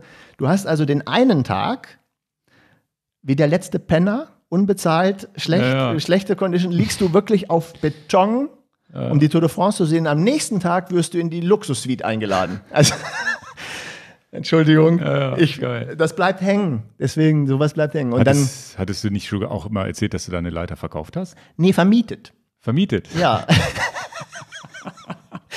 also das ist die Geschichte mit meiner Frau. War ich auch äh, in, in Paris. Ähm, und äh, da hatten wir natürlich auch zwei Leitern, meine Frau ja. und ich. Mein Kumpel Michael war nicht, weiß ich nicht, ob er dabei war, weiß ich nicht mehr. Jedenfalls hatte ich meine Frau im Schlepptau und ähm, die war ganz dolle genervt von der ganzen Sache. Die hatte gar keinen Bock zu ja, Null? Bock. 0,0. Liebe Grüße auf diesem Weg. Die, wird, die hört gar keine Podcasts. Also die hat null Bock gehabt, ja, diese Tour de France zu sehen und wollte halt nur ihre Freundinnen treffen und, und, und Kaffee trinken und etc. pp. Und dann hat sie gesagt, ich habe einfach keinen Bock. Ich ja. gucke es mir dann irgendwann mal an und ich gucke mir deine Fotos an, aber ich will hier nicht. Das ist, das ist viel zu viel Kummer. Hm. Ja, jetzt hatte ich ja eine unbenutzte Leiter. das ist ja wie wenn du am Berg eine Cola zu verkaufen hast und 100 Leute wollen deine Cola. Ja, ja. Was kostet die Cola? Und dann gab es einen, einen, witzigerweise, einen Franco-Kanadier. Und meine und der hat dann mitgekriegt, dass meine Frau so gut Französisch spricht und, äh, ähm, und dann sich gut unterhalten kann, weil sie ihre Freundin an, angerufen hat und alles diese Sachen sind da passiert. Und dann hat der Franco-Kanadier meine Frau angesprochen und die hatte dann auch noch in Montreal studiert und das fand er alles ganz toll und dann hat er mitgekriegt, dass ihre Leiter ja zur Verfügung steht. Und dann hatte meine Frau nur gesagt, das musste mit meinem Mann besprechen, was mit der Leiter ist und hat Gott sei Dank nicht gesagt, ja, hier hast du die Leiter. Und natürlich, der war auf Hochzeitsreise mit seiner Frau und äh, was für ein Ding. Du bist auf Hochzeitsreise in Paris als Franco-Kanadier und siehst noch die letzte Etappe der Tour. Was für eine ja, tolle Hochzeitsreise. Findet nicht jeder schön, aber er bestimmt. Ja, aber er sieht nichts. also du bist schon am Place to be und, und siehst nichts. Und dann ähm, äh, wollte er sich so ein bisschen die Leiter erschummeln. Und dann habe ich ihm so gesagt, ja, das mit der Leiter gebe ich dir gerne. Kein Problem. Aber die Leiter hat mich A, Geld gekostet B, ich bin auch ein cleverer Junge und ich habe Unkosten, die sind nicht gerade wenig für diese ganze Sache. Aber ich bin eigentlich auch ein großzügiger Typ. Und, aber jetzt geht meine Frau auch noch mit ihrer Freundin durch Paris. Das wird ein teurer Tag. Können wir uns irgendwie einigen, dass ich dir nicht einfach nur so die Leiter so gebe? Also ich hab's, ich weiß nicht mehr, wie ich es ja. ihm jetzt verkauft habe. Und also meinte, ja, was müsste ich denn wohl tun, damit ich auf die Leiter kann? Ich sage, na, ich könnte sie dir ja vermieten. Und jetzt, das fand er eine super Idee, weil er ist ja schon auf Hochzeitsreise in Paris. Was meinst du, was das Hotelzimmer ja. gekostet hat und die Reise gekostet hat? Und dann habe ich nur so gedacht, eigentlich vom Grundgedanken würde ich sie ihm geben, aber es ist auch wirklich, ich habe wirklich viel Unkosten. Ja. Also die Unkosten sind wirklich hoch und dann habe ich, weiß ich nicht mehr, was das dann war, dann hatte ich irgendwie gedacht, ah, ich, ich glaube, es war zwischen 100 und 200 Euro, die ich dann meinte, was kosten Tribünen? Das hat er bezahlt. Ja, ja, sofort. Hat, also er war ja auch ganz begeistert. Also, das ist ja auch eine Sache, wo man denkt, ich könnte mich als Schlechtmensch darstellen, dass ich ihm das Geld abnehme. Ja, ja. Ich, äh, ich, könnte aber auch generös sein und sagen, ich schenk's dir, aber ich hatte selber nicht genug Geld in der Tasche. Ja, so, und dann ist man in dieser Zwickmühle, wo man sagt, na pass mal auf, du hast ja auch nicht ein sehr schlechtes Leben, wenn du schon gerade geheiratet hast und die Hochzeitsreise hierher machst. Wir wissen, wir müssen uns arrangieren, dass wir alle happy sind. Und meine Win-Win-Situation wären nicht 50 Euro, das reicht nicht. Hm. Okay. Krass. Naja. Ja, gut, das sind andere Zeiten, ne? War man jünger, also die Taschen waren noch nicht so. Naja, man hatte schon Geld, so ist es nicht. Und aber das Kameraequipment, was haben das damals? Ja, ja. Hat damals diese ganze Kameraequipment gekostet. Mein Objektiv hat 2000 gekostet. Aber lustig ist, dass er sie nicht, aber gut, was soll er auch mit so einer Leiter, ne? Dass er nicht mal die Leiter sich gekauft hat, ne? Jetzt ja, die Leitern haben wir doch danach stehen lassen. ich schlepp doch die Leiter nicht wieder mit nach Hause. Also das heißt, die, die Leiter hat ja tatsächlich einen Wert von 20 Euro. Ja, ja, genau. Also die ja, das hattest du wenigstens schon mal drin. Okay. Und dann, habt ihr, dann lässt, lässt du die da einfach stehen. Naja, aber jeder in Paris nimmt eine Leiter kostenfrei mit nach Hause. Also komm mir nicht mit Umweltverschmutzung. Ja, ja, ja, klar. Ich schmeiß keinen Pappbecher auf den Boden, sondern ich lasse eine funktionierende Leiter ja, ja. stehen, die nimmt einer mit. Also 100 pro, die nehme ich doch nicht wieder mit. Ja, krass. Ja, da, das waren die positiven Momente und es gibt natürlich auch ganz traurige Momente bei der Tour, wo ich, äh, das würde ich, der, eine, eine Geschichte würde ich nochmal erzählen, mhm. ist auch wieder meine Frau involviert. Ähm, Zeitfahren Saint-Étienne werde ich in meinem ganzen Leben nie mehr vergessen. Und das sind auch so Momente, wo man denkt, warum bleibt die Tour so in deinem Kopf hängen? Saint-Étienne, das Zeitfahren, war auch ein langes Zeitfahren damals. Ähm, mit Armstrong, mit äh, Ulrich, mit äh, Floyd Landis, glaube ich, war auch am Start und mit, wie hieß der Italiener, der Zweiter geworden ist? Oh. Ivan Basso. Ja. Also eine der, eine der Tour de France, die einen auch wirklich sehr begeistern konnte. Zeitfahren in Saint-Étienne war 50 Kilometer, bin mit meiner Frau unterwegs, wir zelten, was denn sonst, an der Strecke, Tag vorher. Und dann kommt der Tag des Zeitfahrens und neben uns, deswegen erzähle ich das ist jetzt hoffentlich, breche ich nicht in Tränen aus, weil es mich wirklich, weil es mich wirklich berührt, muss jetzt von der emotionalen hoch zu emotional tief. Mhm. Neben mir ist eine Familie mit einem Wohnmobil aus Belgien angereist und ich meine, dass die damals schon Quick, Quickstep da gefahren ist und Team Quickstep-Fans waren. Mhm. Ich will's, ich glaube schon. Und dann unterhält man sich mit denen. Wie gesagt, Belgier können auch gut Französisch, meine Frau sowieso. Und äh, man kommt ins Gespräch und man freundet sich an, weil wie das so ist im Leben. Man ist einfach, man kennt sich in nur einen Tag, Kurzzeitfreunde für eine Nacht, weil man hat das gleiche mhm. Interesse. Und der Vater von der Familie war Radsport-Fan pur und sie hatten das Wohnmobil gemietet, um die Tour zu verfolgen. Mhm. Dann waren sie auch in Saint-Étienne beim Zeitfahren mit einem Top-Spot, wo wir auch mhm. waren. Wir waren unsere Nachbarn. Man freundet sich mit denen an. Nächsten Morgen steht man auf, man frühstückt zusammen, man freundet sich, man ist im, man ist, genau. man, man, man kennt die, man schätzt die Familie, man freut sich über das gleiche Thema. Und dann kommt demnächst ja die Werbekarawane und dann geht's los. Mhm. Und ich hatte meine Frau genommen und sagte, komm, Schatz, wir gehen noch was essen. Bevor jetzt hier irgendwie ja, ja. sieben Stunden kein Futter ansteht. Dann gehen wir was essen, kommen zurück vom Essen, steht der Leichenwagen vor dem Wohnmobil. Okay. Und dann, dann kennst du, kennst du eine junge Familie und der Vater brennt für die Tour de France und ist der Vater gestorben. Einfach am so. Tag, am Tag des Zeitfahrens. Einfach so. Und äh, völlige Auflösung, aber jetzt wird es ja noch beklemmender. Es kommt gleich die Werbekarawane. Und vor der Werbekarawane fährt der Leichenwagen. Mhm. Weißt du, was das, du kannst, die Werbekarawane macht Trubel, Jubel, Heiterkeit. Also wer das nicht weiß, bei der Tour de France, bevor die Fahrer kommen, kommt so eine riesen Werbekolonne für alle möglichen Marken. Das ist so wie Kölner Karneval, ne? wo die dann so nicht Bonbons rausschmeißen, aber immer, immer so Goodies, Mützen und sowas rausschmeißen. Jetzt musst du diese beklemmende Situation verstehen. Der Papa ist gerade gestorben. Der Leichenwagen transportiert den weg. Wir können auch nirgendwo hin. Und dann kommt die Halligalli-Fahrt. Dann kommt diese Halligalli. Auch die Familie kam ja nicht weg, ne? Nein, merkst du jetzt, warum ich das jetzt komisch, mhm. wo ich denke, das kann ich mein Leben lang nie vergessen. Ich habe noch nie, ich war noch nie so fertig. Meine Frau war fertig, wir waren beide sehr fertig. Und jetzt kommt der Punkt an der, Nache, an der Sache. Und ich bin da auch angereist, um Spaß zu haben, meine Leiter hinzustellen, mhm. Fotos zu machen vom Einzelzeitfahren. Und ich habe viele Fotos und, und all das habe ich ja auch gemacht. Aber was für eine ganz kritische Situation in einem Leben. Mhm. Eine der, der, also wo wir jetzt gerade über diese jauchzenden, schönen Lustigkeiten mit, der, mit, mit dem Schlafen und mit der Leiter und etc. Einer der größten Tiefpunkte, wo ich darüber nachgedacht habe, wie kurz ist das Leben, es kann morgen vorbei sein und wie traurig kann es eben auch sein. Und die Kinder, die Frau wird's, die Frau ist die Frau, aber die Kinder, ich habe selber Kinder. Da, mhm. da ähm, äh, deswegen, du, du kennst die Geschichte nicht, aber das ist, äh, äh, ja, das ist auch die Tour in meinem Leben. Solche Erlebnisse hauen dich um. Ja, ja. Also kannst du das, du kannst es dir ja, die, vom, vom Erzählen schon, ne? Da ist man, das ist ja schon krass. Ja.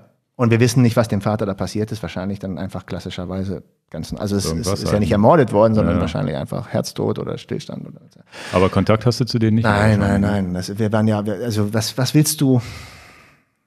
Ähm, stell dir vor, man würde Kontakt halten. Das würde ja noch schmerzlicher sein ja. für die Familie. Noch mehr Leid, noch mehr Schmerzen. Also was für ein, was für ein Tiefpunkt. Das unter dem Krass. ganzen Aspekt Tour Live erleben und das, ähm, jetzt hatte ich auch mal, deswegen ist es vielleicht auch dankbar. Ich kann über sowas nicht reden. Mit wem soll ich darüber reden? Mhm. Ich kann ja hier nicht, wenn ein Kunde hier reinkommt, ihm sagen, ich hätte mal dir eine Story zu erzählen, die mich sehr belastet und auch, auch du bist mein Freund und du, du bist auch mein Kollege und etc. Trotzdem reden wir nicht darüber. Mhm. Was soll ich denn das jetzt auf den Tisch bringen? Aber wenn wir über Tour de France live erleben, reden, das sind Momente, sowas erlebt man dann auch. Und das ist eine Traurigkeit der Tour de France, wenn du als Zuschauer sie belebst. Es sind sehr viele Menschen, die totgefahren werden bei der Tour de France und über die niemand berichtet. Okay. Weil Kinder laufen über die Straße, werden überfahren. Hm. Die Tour de France ist ein Hochgeschwindigkeitszirkus. Hm. ob du vors Fahrrad läufst oder vors Auto läufst, wenn du da die, die Statistiken durchgibst, das gibt es ja auch, ist immer. Mhm. Viele Menschen auf einem Fleck, es passiert immer was. Okay, jetzt muss ich irgendwie die Kurve kriegen zu was Positives. Ja, ja, jetzt müssen wir, jetzt habe ich das nächstes, das Thema Doping, was auch nicht wirklich positiv ist, aber zumindest mal ein bisschen ablenken wird von der ähm, Geschichte. Ähm, bei Doping denkt natürlich, glaube ich, ähm, jeder sofort an Lance Armstrong, was den Radsport angeht in der neueren Zeit. Ja. Ähm, aber wie du vorhin schon gesagt hast, eigentlich war es immer so, ne? Es war immer so. Ja. ja. Also, wenn du Doping unter dem Begriff Betrügen bezeichnen würdest, dann war es schon immer so. Mhm. Ja, also sich am Auto festhalten, in den Zug einsteigen, dort abkürzen, hier abkürzen. Und wenn du Doping mit was der Körper so an Stimulantien zu sich nehmen kann. Alles, was wir kennen. Kaffee ist das harmloseste von allem. Ja, also die Menge an Kaffee, die getrunken wurde, das würdest du heute gar nicht durchwinken. Die Menge an Zigaretten, die geraucht wurden am Anfang, weil früher hat man ja gesagt, Zigaretten macht die Lunge frei. Musst dir mal überlegen. Musst dir mal überlegen, ja. wie viel, wie viel Tour de France-Fahrer Kettenraucher waren. Unglaublich. Und wie viele, äh, und natürlich war das, das Standardgetränk der Leute, die 400, 500 Kilometer Etappen gefahren sind, war Portwein. Mhm. Wein. Und dann noch solche Kleinigkeiten wie mal ein Fläschchen Cognac. Und äh, ja, also wenn du das auch unter Doping siehst, Alkohol gehört auch dazu. Also das gab es ja immer. Mhm. Und dann gab es, ich habe mir das extra nochmal rausgeschrieben, es gab einen schönen Passus in der, von, dem, von, der, von der Zeitschrift Auto. Die hatte dann extra in ihren Statuten der Tour de France reingeschrieben, äh, ähm, ich habe es mir eben auch, die Tour keinerlei Kosten übernimmt für stimulierende Mittel. Also ist dir das mal klar, was der Satz da so, soll? Das heißt, die, die, die Tour übernimmt keine Kosten für dein Alkohol Heroin, oder Kokain, Morphium, Opium, genau. Ether. Genau. Das war alles im Umlauf. Aber die Tour wollte nur noch mal im, im Reglement klarstellen, dass das auch wirklich jeder Fahrer selber bezahlen muss. Ja, ja, okay. Muss dir mal überlegen, wie bekloppt. Ja. Also natürlich wurde alles genommen. Ich habe es alles mal reingeschrieben. Also das ab 66 hast du geschrieben wird. Äh, genau. Und äh, bis zu 1966 war alles frei. Mhm. und es wurde auch alles genommen. Auch jetzt lachen wir wieder, aber es ist natürlich äh, meine Kinder, wenn die den Podcast hören. Ähm, den muss ich noch mal viel erklären. Aber ja. das war eine andere Zeit und man hat wirklich alles reingehauen, was es mhm. gab. Also wirklich alles. Wenn du darum, darum, äh, wir haben, ich habe mir so Heroin, Kokain, Morphium, Opium, Ether ist ein Betäubungsmittel. Mhm. Was soll das denn? Und natürlich Zigaretten und, und Wein und, und Cognac und all das ist ja normal. Jetzt ist es ja so, dass ich eine, in der ARD mal von Toni, über Toni Martin und andere deutsche Radfahrer gab es mal so eine Anti-Doping-Sendung, also auch so eine Dokumentation, wo dann die deutschen Sportler gesagt haben, alles jetzt clean und so weiter. Und die, also eher eine positive Sendung gegen Doping. Und Toni Martin hat mal sein, sein Tütchen, was er so an Medikamenten mitschleppt, offen auch gezeigt, den Reportern. Okay. Die Reporter haben es auch nicht kritisch hinterfragt, aber da sind natürlich auch Ibuprofen drin ohne Ende. Tja. Wo ich denke, naja, das ist jetzt zwar legal und alles, und, und er hat ja, Toni hat auch ganz offen drüber gesprochen. Ich erinnere es nicht mehr ganz genau. Ich weiß nicht, ob man das vielleicht auch bei YouTube noch findet, wo er dann drüber spricht, ja, das sind die Medikamente und Schmerzmittel muss man ja manchmal nehmen und so weiter.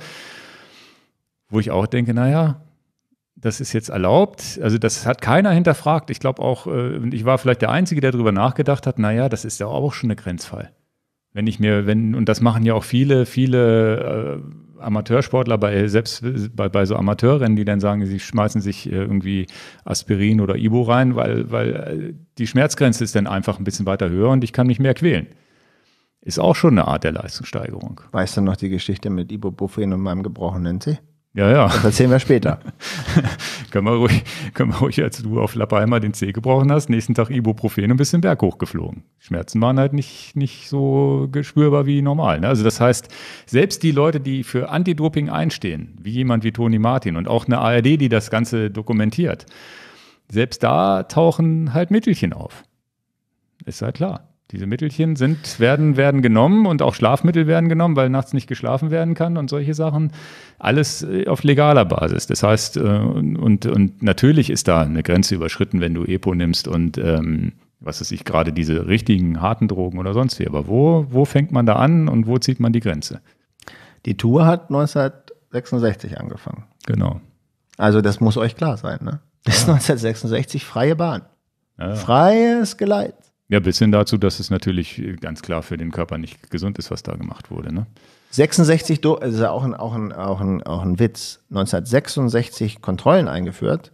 Der Brite Simpson am Mont Ventoux 1967 am Mont Ventoux gestorben. Und als sie den natürlich untersucht haben, vollgepumpt bis zur Oberkante. Ja, ja. Also, und jetzt das Kuriose, wer das nicht weiß, der äh, ähm, äh, Simpson ist am Anstieg des Mont Ventoux gestorben, also kurz vor dem Gipfel. Und dort befindet sich ein Gedenkstein. Mhm. Und damit tue ich mich ja eigentlich schwer. Mhm. Ja, ja, da wird auch immer wieder gedacht und die, die, auch die, die Fahrer halten doch manchmal inne, wenn sie dort vorbeifahren, ne? Ja. Ich, vielleicht kriege ich einen auf die Mütze. Ich bin den Mont Ventoux auch hochgefahren. Ich bin auch da vorbeigefahren. Aber ich halte da nicht an. Hm. Oder zumindest mache ich nicht eine Holdi. Also ich, ich kann es dir nicht sagen. Ich, Weil du sagst, also jetzt mal banal gesagt, sagst du selber schuld. Nein, das ist, das ist auch nicht okay. Also ja, ich, ich mag auch Eddie Merckx und der war auch voll wie eine Rakete. Hm. Also zumindest war er vor seinem ersten Toursieg voll wie eine Rakete und wurde, das ist auch witzig, weil es das mit Thema Doping, äh, äh, kommen wir gleich zu, auch, äh, den mag ich also auch. Ja.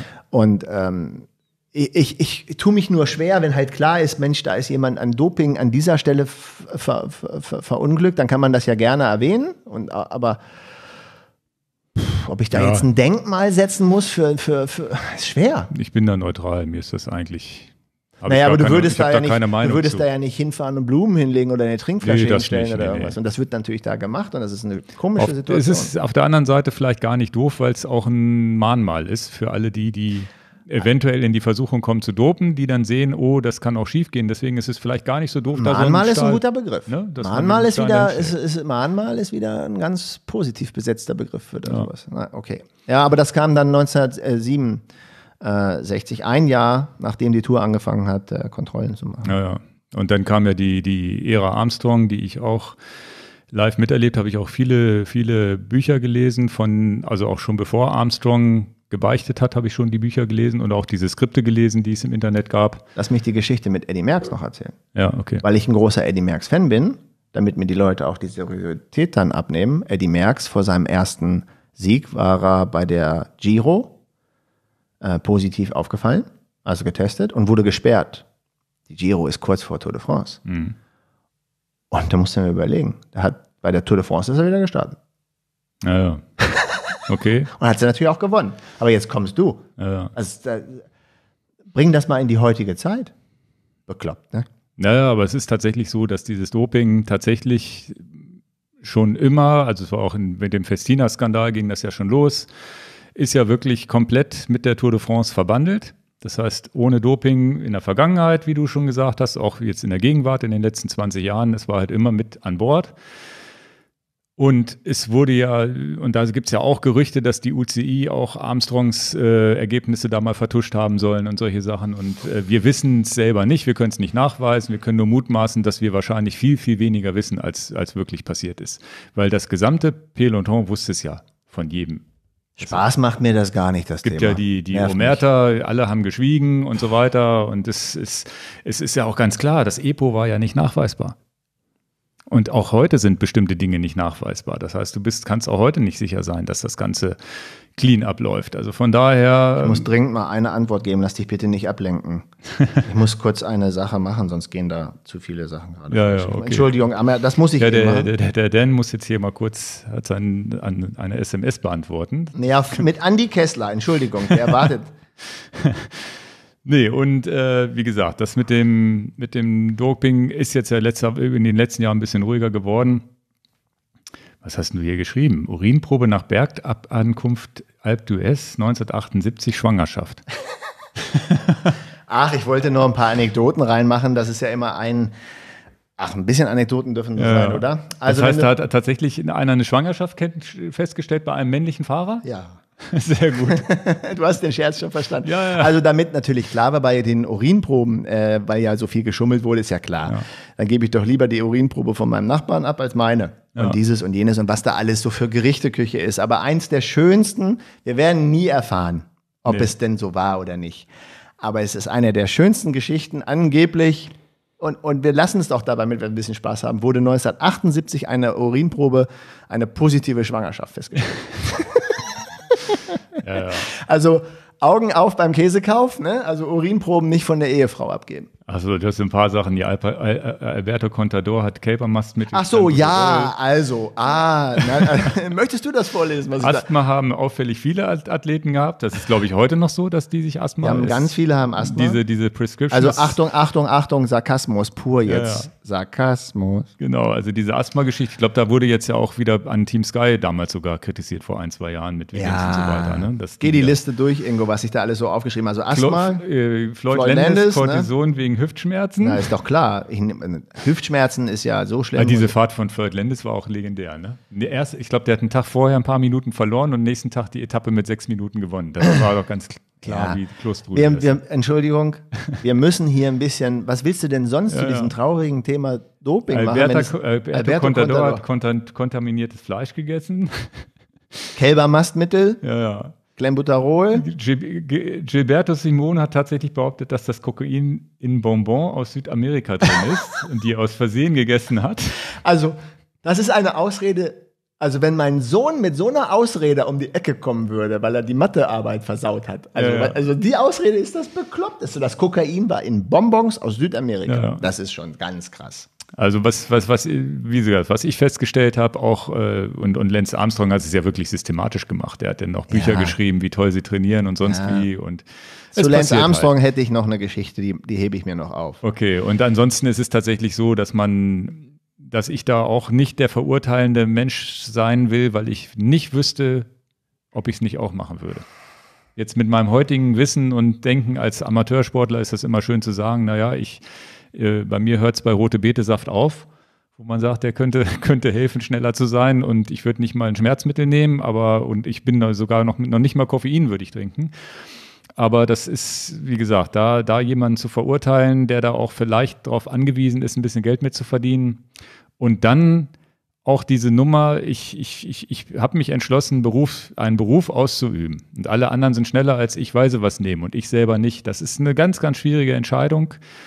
Schade sind tatsächlich die, die dies nicht zugegeben haben. Ich hätte mir gewünscht, dass Jan Ulrich ein Buch schreibt und einfach sagt, ja, ich habe die Scheiße mitgemacht und nicht bis, äh, bis heute. Und dann wäre er vielleicht heute psychisch auch be besser drauf, wenn er das mal gemacht hätte.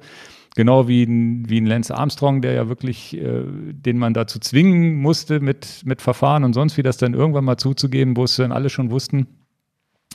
Das finde ich tatsächlich ein bisschen schade, dass da nicht offener mit den Fehlern oder mit dieser Situation umgegangen wäre. Und dann wäre das vielleicht auch im Nachhinein nicht so negativ besetzt gewesen, weil man immer noch hätte sagen können, ja, alle haben es irgendwie gemacht, es tut uns leid, wir haben es alle gemacht und jeder wollte schneller sein als der andere und der hat dann das genommen und so weiter. Wenn man da offen drüber gesprochen hätte, wäre es, glaube ich, auch gar nicht so ein, dann wäre es nach bestimmten paar Jahre eher wieder Ruhe eingekehrt. Zu der, zu der De E- Depo, äh, Doping, äh, völligen Knoten im Mund. Ja. Zu den Doping-Sachen war natürlich ein äh, Durchbruch, der auch in den Medien war, den ich auch wirklich am Fernsehen noch, diese Heulerei von Verin, unglaublich, Ja. wo der Masseur, weil die Leute, die jetzt das nicht wissen aus der Historie, es wurde äh, von dem Team Festina, wo Richard Verin auch drin war, wurde ein Masseur an der Grenze erwischt mit unheimlich vielen Ampullen. Ja. Auch viel Epo dabei. Also ein Masseur von einem Team beim Grenzüberschritt wurde im Auto diese ganzen Ampullen äh, gefunden. Dann war ja schon mal klar, wenn der Masseur diese Sachen dabei, hat, die wird er nicht zum Eigengebrauch dabei hatten. Das war halt so der Skandal, der, der aufgetaucht ist als, als größter Dopingskandal bei der Tour. Und dann muss ich sagen, Hut ab vor den Franzosen, weil es ist das französische Event. Wir sind nationalstolz. Wir wollen Sieger produzieren. Richard Verin als Franzose im Team Festina. Ach, das war Festina, ja, ja. und dann hat, zumindest kriegen die dafür meinen Credit, dann hat die Polizei in Frankreich alle Fahrer eingesperrt. Ist, weißt du das noch? Ja, ja, ja. Das und heulend. Ja, ja. Vor die Kamera heulend, Richard Vorin. Ja. Aber zumindest haben sie erstmal alle einge Was krass war, das war eine ganz krasse Entscheidung. Ja, und man muss sich da, da auch immer im Klaren sein, dass danach die Franzosen auch nie wieder was gerissen haben bei der Tour. In den, immer noch in den Epo-Jahren 2005, 2006 und so weiter. Die Franzosen haben nie wieder mitspielen können in dem Spiel, weil sie sich nicht mehr getraut haben. Die haben nämlich einmal im eigenen Leib erlebt, wie, wie scheiße das läuft. Während die anderen Länder alle noch fleißig weitergemacht haben. Ne? Telekom, Postal. Ganz, Was äh, noch interessant war, hatte ich mal äh, noch mal vermerkt, ist dir klar, dass Lance Armstrong niemals positiv getestet wurde. Also das gab es noch nie. Lance. Armstrong wurde ein einziges Mal wurde Lance Armstrong positiv getestet. Ja. Und, Und das, das, wurde war, vertuscht, ne? Das, ist, das war, das? war die Sitzcreme. Achso. Thema Ausreden. Ah, ja, okay. Also die ganz offizielle positive Sache, die Lance Armstrong hatte, das hat man dann gesagt, naja, klar. Ja, das habe ich in den Büchern nach. Entzündungshemmende Sitzcreme, jetzt ist es, und natürlich. In den, in den Büchern stand ja auch ganz klar drin, wie du das Epo timen musst und wenn dann die, was du für Salz und Flüssigkeit zufügen musst, damit es dann nicht mehr auffällt. Ne? Und ich meine, dass bis heute auch dieses äh, Eigenblutdoping immer noch nicht hundertprozentig nachweisbar ist. Deswegen gibt es ja jetzt gerade in der Kürze wieder den Skandal in Österreich, wo da so ein Arzt auch wieder Blutdoping noch wieder veranstaltet hat. Also Doping macht keinen Spaß, wenn wir das im Podcast erzählen. Nee, nee, und äh, wie gesagt, und wenn, wenn, und wenn du es in ganz kleinen Dosen nur nimmst, ob es dann nachweisbar ist, ich weiß es nicht. Aber da, da muss man auch durch und am Ende des Tages, der Wettbewerb ist trotzdem, mir macht da trotzdem Spaß zuzugucken. Und die, ich glaube, die kämpfen alle hoffentlich dann mit gleichen Waffen, wenn sie, wenn sie denn noch mit irgendwas kämpfen. Aber man hat so ein bisschen das Gefühl in den letzten Jahren, es gibt keinen mehr, der irgendwie sechs Minuten rausfährt und nicht eingeholt wird. Oder, oder es gibt ganz oft Situationen am Berg, es fährt einer eine Minute weg und dann wird er doch wieder eingeholt und so weiter. Also man hat schon das Gefühl, dass das nicht mehr so ist, dass da einer, dass die sich da komplett vollpumpen. Mir, mir fällt das schwer, das im Podcast zu sagen. Aber ich mag, ich, jetzt, was so abläuft mit Jan Ulrich, das finde ich nur traurig. Ja. Aber ich fand Jan Ulrich immer sympathisch. Ich, und, und ja, weil er so ein, der war so ein Schüchterner und nicht so ein, nicht so ein Draufgänger wie der, wie der Armstrong, der dann immer einen Dicken gemacht hat, sondern und er war immer der, der relativ defensiv oder ja, und, leicht verschüchtert auch wirkte. Ne? Und ich habe eine Anekdote noch zu Eddie Merckx. Den finde ich mega sympathisch. Und der mhm. war ja nun auch ein. Also ich finde jetzt Leute sympathisch, die betrogen haben. Mhm. Und äh, zu, zu, zu Eddie Merckx die Geschichte, da, da schließt sich der Kreis eigentlich. Eddie Merckx und Lance Armstrong. Lance Armstrong, hm, sage ich das hier? Willst du mich fragen, was ich von ihm halte? Also ich habe dir ja vor zwei Tagen den Podcast von ihm empfohlen. Mhm.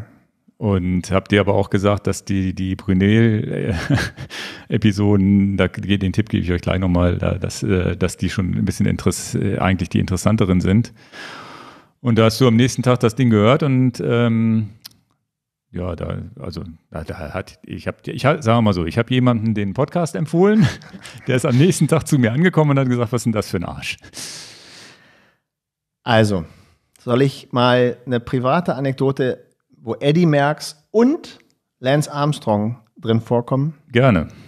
Die auch mit, na, Doping hat es dann nichts mehr zu tun, aber mit Krebs. Okay.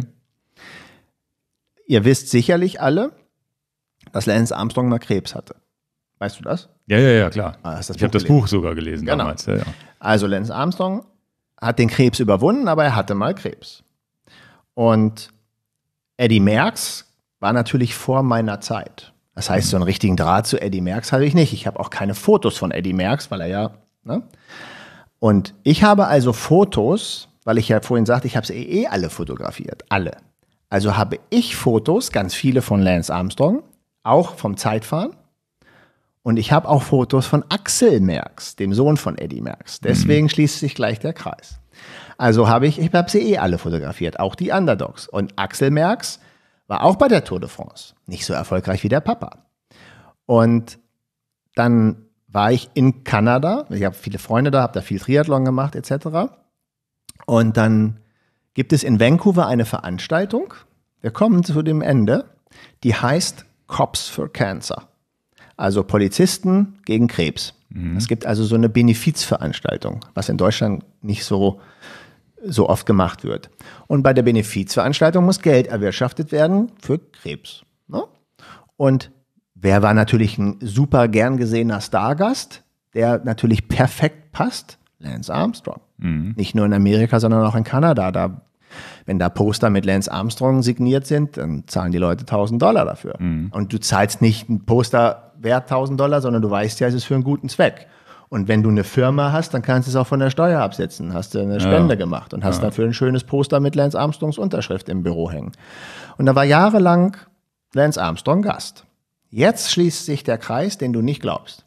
Ich bin in Kanada vor Ort, habe Freunde, die auch diese Cops for Cancer Sache organisieren und dann rufen die an. Wen rufen sie an? Lance Armstrong. Der hat die Karriere beendet und dann tut es ihm leid er hat die Karriere beendet, er kann nicht kommen. Oh. Äh, hallo, du A äh, Das schneidest du eben raus. Also, hallo? Habe ich das gerade richtig gehört? Ja. Hattest du nicht auch mal Krebs, du? Hast du das vergessen oder was? Da muss alles drum geben, da hinzukommen, weil du, du musst das Geld, du musst, oder du kannst ja auch einen Scheck schicken. Einen richtigen Scheck. Hast ja genug Geld. Mhm. Und wie kommt jetzt noch die Connection zu Axel und, und Eddie Merckx hin? Das wird ja noch bekloppter. Axel Merks, Belgier, ist mit einer kanadischen Triathletin verheiratet. und die kommt aus der Nähe, nicht von Vancouver, ein bisschen weiter weg. Die sind da auch involviert. Und ich kriege das mit, dass Axel Merck sagt, ja, rufe ich meinen Vater an, der hat schon lange die Karriere hinter sich, der kommt auch. Also muss er überlegen. und ruft den Papa an und der Papa sagt, ich steige ins Flugzeug, ich bringe was mit. Aus Europa. Aus Europa. Nicht mal eben hier so ein Inlandsflug. Naja gut, aber seine Schwiegertochter ist Kanadierin, also es gibt schon auch noch einen Grund. Ja, ja, ja. Aber, aber er macht's. Aber er macht's, Lance Armstrong macht's nicht, er macht es und ist natürlich noch viel gefeierter als Lance Armstrong. Mhm. Und damals waren seine Siege nicht aberkannt. Mhm. Also, und dann erlebst du natürlich einen Eddie Merckx, der einen Rahmen mitbringt, der Autogramme gibt und etc. pp. mit einem Problem. Mit, welches Problem? Ich, ich kann nicht helfen mit Fotos von Eddie Merckx. Aber mit was kann ich denn helfen? Ja, mit dem Foto von Sohnemann. Ja, ja. Und deswegen habe ich das hier, die, diejenigen, die den äh, Podcast sehen und nicht hören, zeige ich das hoch. Oder du zeigst es hoch. Ich habe natürlich ein Foto geschossen von Axel Merckx. Ein Foto von mir aus alten Zeiten. Und äh, naja, haben beide unterschrieben. Haben beide unterschrieben. Axel und Eddie Merckx. Aber es ging nicht darum, mir was zu unterschreiben. Es ging darum, dass man zumindest was hat, damit der Sohn nicht so blöd neben dem Vater da steht. Da muss man ja auch ein paar Fotos von dem Sohn haben. Und naja. Und wollte damit nur meine Antipathie, die sich gebildet hat, gegen Lance Armstrong begründen. Mann, was für eine Backe. Ja.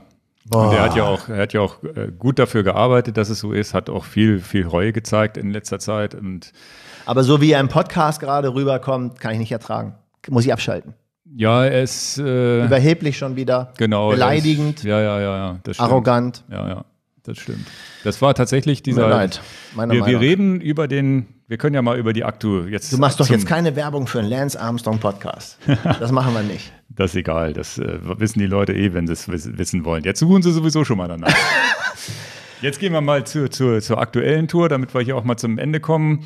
Und tatsächlich hat ja Lance Armstrong seit einem oder zwei Jahren diesen, das ist tatsächlich ja eigentlich auch schon paradox, dass Lance Armstrong einen Podcast eröffnet hat über die Tour de France, wo jede Etappe besprochen wird. Und das war tatsächlich, ich glaube, vor zwei Jahren das erste Mal, wenn ich mir, bin mir nicht ganz hundertprozentig sicher, oder was letztes Jahr ist das erste Mal. Ich glaube, vor zwei Jahren. War für mich das erste Jahr wirklich, wirklich interessant, weil ich glaube, da waren sie auch noch nicht so drauf wie jetzt, sondern haben wirklich viel so aus dem Nähkästchen geplaudert. Ja, warum ist jetzt das passiert? Warum ist da einer ausgerissen und wurde wieder eingeholt? Also einfach Sachen, die wir als Normalsterblicher nicht mitkriegen, weil wir nie im Peloton gefahren sind. War also nicht, war, war also nicht doof und wurde dann aber, habe ich auch das Gefühl, immer schlechter und auch viel Werbung und so weiter. Und du hast schon recht, ich habe auch das Gefühl, dass Armstrong eine Zeit lang ein bisschen netter drauf war, also ein bisschen reuiger. Und dass das aber wieder so ein bisschen verflogen ist in den letzten Jahren. Also jetzt Na, hat, hat er schon lange wieder, gedauert, hat er genau, wieder über Wasser. Er, genau, hat er wieder so, weiß ich nicht. Also aber was, was, was, was wirklich hochinteressant ist, deswegen kann man den Podcast doch empfehlen. Also die Armstrong-Folgen muss man nicht hören, höre ich auch kaum noch. Aber es gibt seit dem Giro eine Folge mit äh, Johann Brunel. Ja. Und das ist ja der sportliche Leiter, der leider auch natürlich als sportlicher Leiter sehr, eine sehr große Doping-Vergangenheit hat. Aber der ist halt sehr professionell. wenn der über eine Tour ein Recap macht und sagt, warum, was, wie passiert ist. Grandios. Das, das ist echt der Knaller. Der, also sehr man gut. muss natürlich gut Englisch können, aber er spricht ein sehr verständliches Englisch für uns Europäer, ist ein Belgier, glaube ich. Das heißt, er spricht ein sehr gutes Englisch, was man als Europäer sehr gut, weil es so ein Schulenglisch ist, wahrscheinlich sehr gut verstehen kann. Ja. Und der holt da Sachen raus, wo der, wo der, und der, der, der hat auch beim Giro schon gewusst, dass Carapaz gewinnt. Der hat gesagt, na, das sieht man doch an den Beinen. Der hat die besten Beine, wo noch keiner über Carapaz gesprochen hat und solche Sachen. Und der auch mal seine Meinung revidieren muss, was Alaphilippe angeht, weil dann natürlich alle sagen, der bongt jetzt irgendwann und äh, das, das ist, ist ganz interessant. Du hast jetzt, ähm, und das war ja der Witz, dass du die Tour de France, äh, ich, ich habe die im Urlaub verfolgt ich auch. Und zwar auf unterschiedliche, auf Art. unterschiedliche Art und Weise. Ich kann ja mal erzählen, wie es bei mir läuft. Ich gucke normalerweise die Tour de France auf dem Eurosport Player oder ich nehme sie mir zu Hause auf über den Receiver da von der Telekom oder so, wo man dann vorspulen kann. Ich gucke die Etappen normalerweise nicht mehr live. Ich nehme das auf und eine Bergetappe fange ich dann so bei Kilometer 50 anzugucken und spule vor, bis es dann interessant wird. Das wollte ich in Italien auch machen, auf dem iPad schön auf dem Eurosport-Player gucken. Spricht dieser Eurosport-Player, weil ich ein Südtirol bin, Italienisch mit mir? So, so eine Scheiße, was machst du denn jetzt? Keine Chance. Habe ich, ein, hab ich ein VPN installiert. Der VPN bedeutet sozusagen meine IP statt einer italienischen, dass man dann eine deutsche IP nimmt, habe ich das so umgestellt. Trotzdem italienisch. Okay. Also ich konnte den Eurosport-Player nicht mal mit dem VPN irgendwie überlisten. Ähm, das vor, bevor ich das mit dem VPN überhaupt probiert habe, war ich dann auf der ARD-App, wollte es da gucken. Aus rechtlichen Gründen kann das nicht in diesem Land ausgestrahlt werden. Herzlichen Glückwunsch. Ich so, was machst du denn jetzt, ne? Der VPN aber funktionierte für die deutsche, äh, für, für das deutsche Fernsehen. Das heißt, ARD konnte ich damit überlisten, dass ich doch in Deutschland bin und konnte es dann tatsächlich auf Deutsch gucken, entweder live oder im Real Life. Die haben auch tatsächlich einen Stream, wo sie die gesamte Etappe übertragen. Haben netterweise auch so ein Drei-Minuten-Ding, wo man dann die Etappe. Kurz vorm Abendbrot kannst du nochmal schnell Kannst du mal vier Minuten reingucken, habe ich mit meinem Sohn auch, der war jetzt, ist jetzt auch schon ganz angefixt, guckt da immer mit rein. Siehst du? Die drei, vier Minuten von dieser Dings äh, geguckt und die Bergetappen habe ich mir dann einfach die letzten 20, 30 Kilometer, wenn spannend wurde, mit angeguckt. Und so hatte ich dann doch die Chance, das im bewegten Bild mit zu verfolgen. Und eins ist ganz klar, dieses Jahr ist die Tour de France das erste Mal wieder richtig spannend. Wahrscheinlich, weil Froome nicht dabei ist. Das ist der, ja, ist so. Und alle anderen, alle anderen relativ immer mal einer einen schwachen Tag hat und so ein Alaphilippe da, wo wir das Thema Doping schon hatten, auch natürlich ein bisschen heraussticht, weil man ihm das nicht zugetraut hätte, da vorne mitzufahren, so lange. Aber es ist trotzdem spannend, die Franzosen sind mit dabei, also so, so verfolge ich das Ganze. Ähm, und dann abends den Brunet-Podcast dazu und dann weiß man, dann weiß man auch, warum, was, wie, an welchem Tag da passiert ist. Und es war tatsächlich dieses Jahr so, dass auch eine Flachetappe teilweise überraschende Wendungen hatte. Ne? Und das war wirklich, und, und, und so ein Alaphilippe, der in sechs Sekunden verloren hat, das gelbe Trikot und am nächsten Tag wieder in der Bergetappe gewonnen hat. Also war wirklich extrem spannend, muss man schon sagen. Also dieses Jahr toll. Und ähm, du hast, glaube ich, gar keine Bewegbilder gesehen bisher, ne? Genau, ich war auf dem Campingplatz. Ja. Ohne Fernsehen. Und äh, also ich hatte zwar meinen Laptop dabei, ja. aber das ist am Campingplatz auch irgendwie ein bisschen blöd. Ja. Äh, Im Zelt jetzt, wo es warm ist. Und, ja, ich habe ähm, jeden Tag eine kleine Runde gejoggt, hinter dem, hinter dem Dünen, einmal ein bisschen in die eine Richtung, über die Dünen rüber und am Meer zurück. Habe ich fast jeden Tag so die 20, 30 Minuten so durchgehalten, damit ich nicht verfette. Ja. Hat nicht ganz so geklappt, weil ich doch zu viel gegessen habe, aber habe mir dann unsere Aftershocks-Kopfhörer aufgesetzt und habe mir den BBC-Podcast runtergeladen. Okay. Der BBC-Podcast heißt Bespoke Cycling. Mhm. Ist genau meine Liga. Höfliche Sprache. Englisch vor allem. British English, ja. Oxford English, manchmal nicht nur Oxford English, aber vor allen Dingen nicht die ähm, und ich, und, ich, und ich empfehle dir einen Podcast mit Texanen, mit, mit, mit, so einem Texaner. Texaner okay, so very British, BBC, die natürlich das Problem haben, dass Cricket-WM ist auch, das, das könnte ich mich bepissen vor Lachen. Ja. Also andere Stories, aber höre im Prinzip Bespoke Cycling und finde den spitze. Also finde den richtig gut, komme, komme aus dem Urlaub wieder, sage hier, BBC-Podcast ist der beste. Okay. Also ich habe nur Podcast von der Tour gehört im Urlaub und habe dir den auch noch empfohlen. Und dann ist mir tatsächlich eingefallen, weil das ja auch neu in meiner Welt ist Podcast beim, Strand, beim Strandlauf zu hören. Und dann habe ich gedacht, ach, ich filme das mal mit dem iPhone. Ob ja. da was draus geworden ist, gucken wir mal, um den Leuten mal klar zu machen, wie konsumiere ich einen Podcast.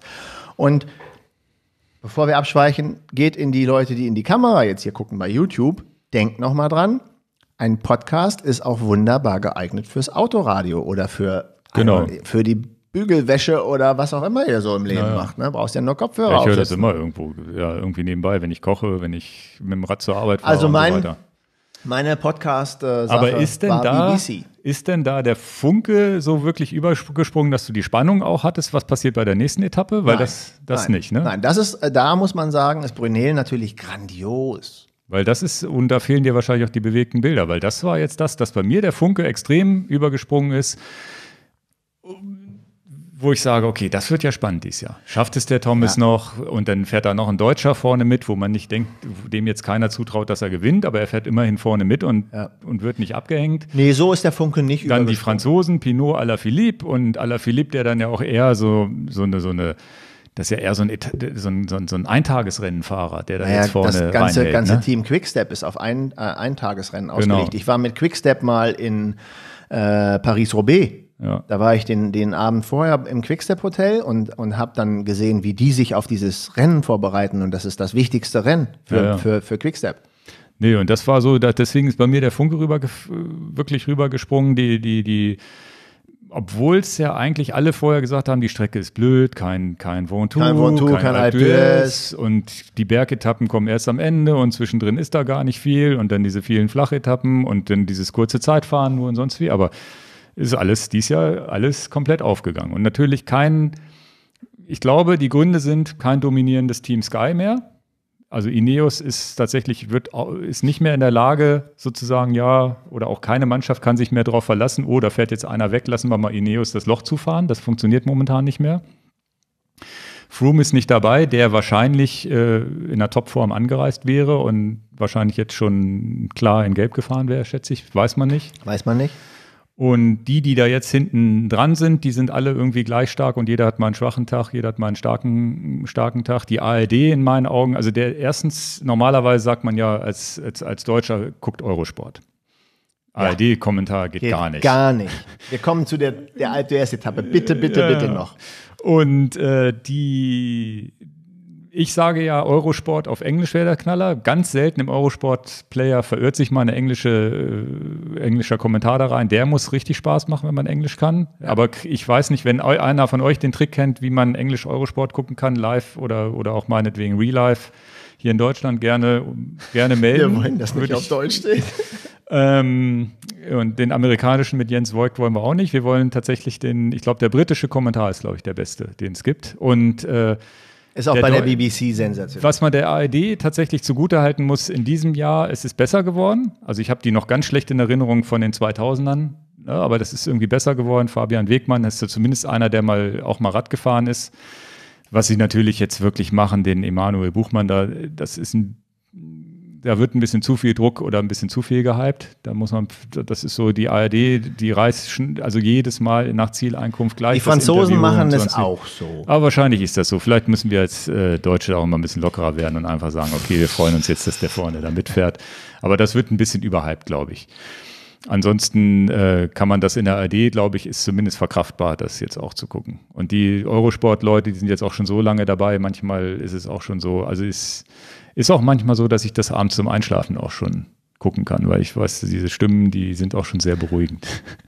Bitte gib mir, bitte gib mir die 30 Sekunden, ja. die eine Minute. Die beste Eurosport-Übertragung aller Zeiten, und ihr könnt die sicherlich bei YouTube abrufen, war als Guirini, der Italiener Guirini, Alp d'Huez hochstürmt. Und Angermann und Romminger sind die Kommentatoren bei Eurosport. Guckt euch das bitte an. Es gibt keine bessere Kommen, es gibt keinen besseren Kommentar als Guerinis Sturm auf Alp d'Huez, Team Telekom, okay. Italiener. Angermann, der jetzt nicht mehr bei Eurosport ist, den haben sie rausgeschmissen.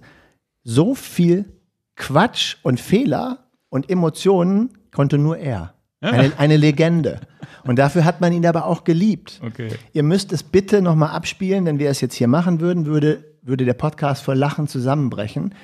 Aber die Kommentare, die es gibt, und da war ein Fotograf, der hat Guirini vom Fahrrad gerissen. Mhm. Und jetzt kommt der Knaller-Kommentar, wenn wir, wenn wir Journalismus oder wie, wie, wie sage ich das, wenn man so die Leute in den Himmel heben will. Er kann so viel Quatsch erzählt haben, wie er will, aber er hat aus der Pistole geschossen. Ein Schnappschuss sollte es werden. Ein Abschuss ist es geworden. Das muss dir erstmal einfallen. Das, das könnte eigentlich nur Karl Lagerfeld sagen, so schlagfertig wie er war. Und bei der Tour de France, was denn da passiert? Also nicht bei der Tour, bei der ARD. Was denn, bei, was denn da? Ja. Und dann Angermann so, es ist was passiert. Liebe Zuschauer, es ist was passiert. Also der führende Guirini ja, ja. ist äh, gestürzt durch den Fotografen. Und dann kam die Situation, er ist dann wieder aufgestiegen und Angermann geht ganz steil in der Kommentar. Guckt euch es bitte an. Vielleicht finden wir irgendeinen Link, wo nochmal ja, die Alpetappe Guirini ist. Das, da erinnere ich dich dran. Und dann sind die letzten paar Meter und äh, Angermann sagt, am Berg der Holländer, weil Alp d'Huez wird als Berg der Holländer bezeichnet, unglaublich. Und es ist wieder ein Holländer. Ah. Gurini, offensichtlicher Italiener. Und dann kommt der Schweizer Tony Rommenger, ich kann das nicht nachsprechen, aber der Guirini ist der Italiener. Äh? Und dann Angermann, Toni, danke, in meiner Euphorie habe ich ihn einfach zum Holländer gemacht. Also es gibt keine besseren, also das war, ich, das wir war versuchen die, den Link rauszusuchen. Das war die Königs, ja. das war der, dadurch, dass ich das jetzt alles aus dem Gedächtnis erzähle. Ja. Es gab keine emotionalere, bessere Übertragung als die beiden Strategen.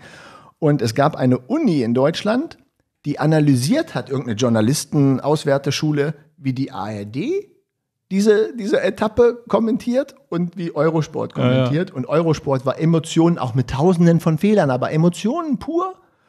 Und die ARD war und so Das habe ich aber das Gefühl, dass das bei Eurosport ein bisschen verloren gegangen ist. Das ist verloren gelassen. Sie haben ihn rausgeschmissen, die, weil also er auch diese, viel Quatsch erzählt die, hat. Die beiden Jungs, die das jetzt machen, das ah. ist, da fehlt mir die, nämlich auch die Emotionen. Und da habe ich fast das Gefühl, was ich jetzt bei der ARD gesehen habe, dass die mehr am, ins Mikrofon brüllen waren als die, als die Jungs bei Eurosport. Wie das gesagt, ist der aktuelle Stand. Gesagt, so, ARD habe ich jetzt gar nicht. Musst, musst du mal reingucken. Also das finde ich tatsächlich, dass die momentan emotionaler sind als Eurosport. Also Eurosport finde ich tatsächlich ein bisschen langweilig. Die haben natürlich, jetzt sind die aber auch das ganze Jahr am Kommentieren. Eurosport überträgt ja jede Rundfahrt und so weiter. Wahrscheinlich ist da auch ein bisschen, ist das auch ein bisschen schwierig, da immer die, die Sprechform oben zu halten. Ich weiß es nicht. Aber so ist es oft mit englischen Kommentatoren, wenn man zum Beispiel also ich, wir schweifen ab nur ganz kurz, wenn du jetzt zum Beispiel, deswegen bin ich BBC-Fan eigentlich auch, wenn man äh, ähm, die, die Fußball-Weltmeisterschaft in Brasilien gesehen hat, Deutschland gegen, gegen äh, Brasilien 7-1, ja, ja. da war die deutsche emotionsgeladene Sache schon sehr hoch, für ja. deutsche Verhältnisse, wow, da kommt der kühle Norddeutsche auch mal in Wallung, aber die Engländer sind ausgerastet, also... Ja, ich glaube, ich habe das tatsächlich mal im komplett, komplett in Englisch gesehen. Genau, die, also falls das, falls das noch irgendjemand irgendwie die Möglichkeit hat, also Deutschland, Brasilien 7-1 darf man nicht auf Deutsch gucken, muss ja. man BBC einschalten. Gibt es, glaube ich, auch bei YouTube. Nee, okay, also aber du so hast es dann äh, versucht auf dem Player. Genau, das ging gut. Gucken, genau. Aber mit italienischer Sprache. Ja, ja. Nee, aber das mit der ARD war gut und wie gesagt, ich beschränke mich da drauf. Also eine ganze Etappe schaffe ich auch nicht. Manchmal lässt man das in, auf der Arbeit nebenbei laufen oder so. Ne? Aber so, sonst, so. Wo arbeitest du denn? Ja, ja. Ansonsten, ähm, was, was hochinteressant ist in Sachen Doping, dass ja jetzt diese Ketone ganz in sind bei dem Fahrrad. Ist ja, ist ja keine Doping. Hat Lance und Armstrong nochmal klar dargestellt. Ja, ja, der hat dann, ja, und da ist er, glaube ich, auch ein bisschen wieder in seiner Situation übers Ziel hinausgeschossen, glaube ich. Er schießt immer übers Ziel ja. hinaus. Aber es ist tatsächlich so, es ist ja legal, ganz, äh, ganz interessant dabei. Also so ein Ketons, falls Möchtest du den, erklär den Leuten, was es ist. Ich weiß es selber nicht genau. Keton ist irgendwie so ein, auch glaube ich, irgendwas Hormonen, also es ist eigentlich ein Nahrungsmittel, was, und das ist schon richtig, das ist so wie Kohlenhydrate, Fett und ähm, und was ist das andere, was man isst? Proteine isst man ja so, ne? das ist also die Aufteilung, die man auch als Sportler meistens kennt, so und so viel Kohlenhydrate. Und dann gibt es halt noch einen nächsten Nährstoff, der nennt sich Keton. Der wird normalerweise nie von außen zugeführt, sondern vom Körper selber hergestellt. Und jetzt gibt es eine Firma, die eine Portion Ketone für 36 oder 37 Dollar verkauft.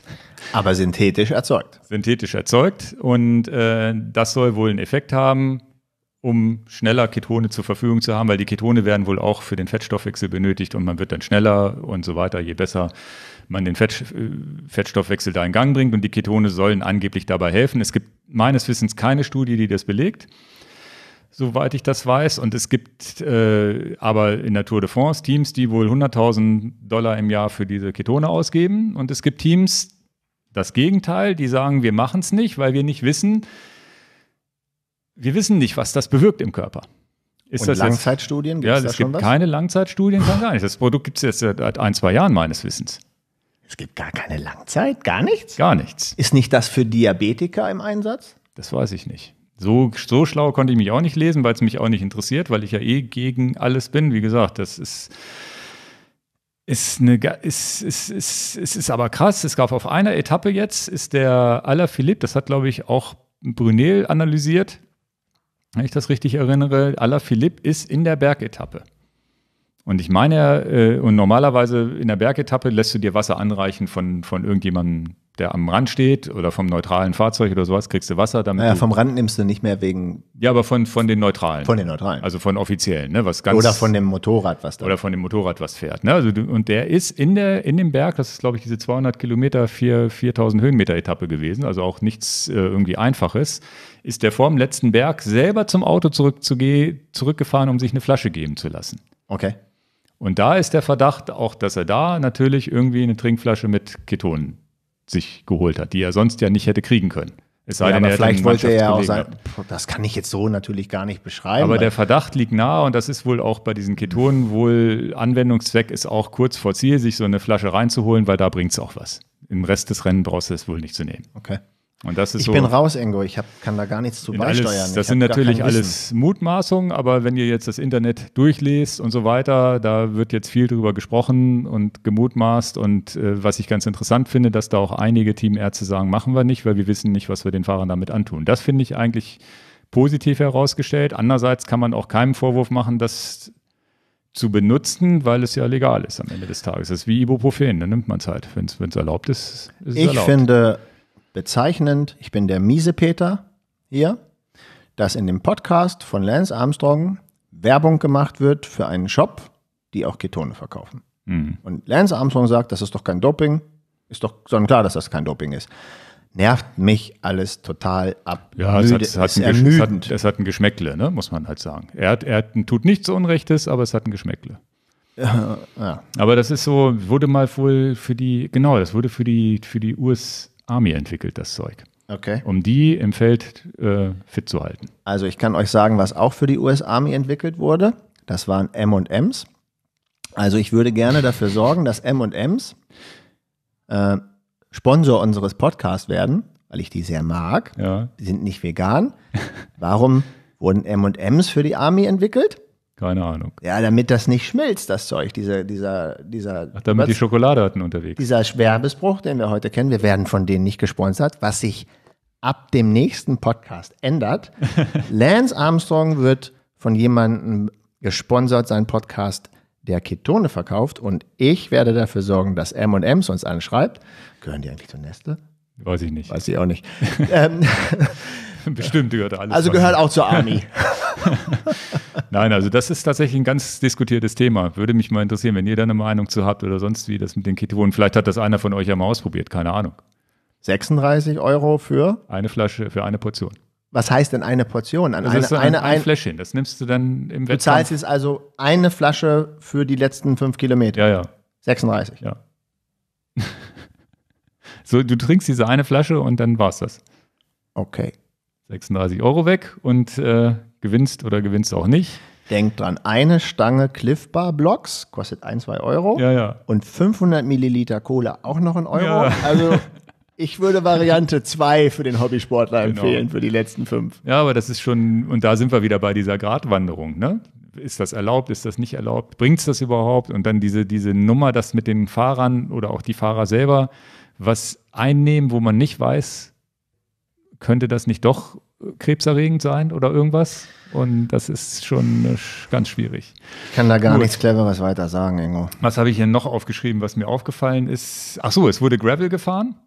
Naja, klar. Das habe ich ja da, das fand ich gut. Ja, ja. Das, äh, das war, mir da war natürlich auch die, die Industrie hinterher. Wurde nicht am selben Tag das Specialized, ach nee, Specialized ist mit dem E-Bike, haben sie es rausgebracht, glaube ich, das E-Rennrad zwischendrin. Ja, aber, aber Gravel ähm, haben sie mal ein bisschen, aber wirklich feines Gravel haben sie diesmal genommen. Ist, ne? Ich fand es trotzdem ganz witzig. Ich fand es auch ganz witzig. Hat mir Und, Spaß gemacht. Äh, Und das habe ich übrigens nur audiomäßig BBC gehört und fand es ja. gut. Ja, ja, okay, hast du mitbekommen zumindest. Ja, ja, und ja.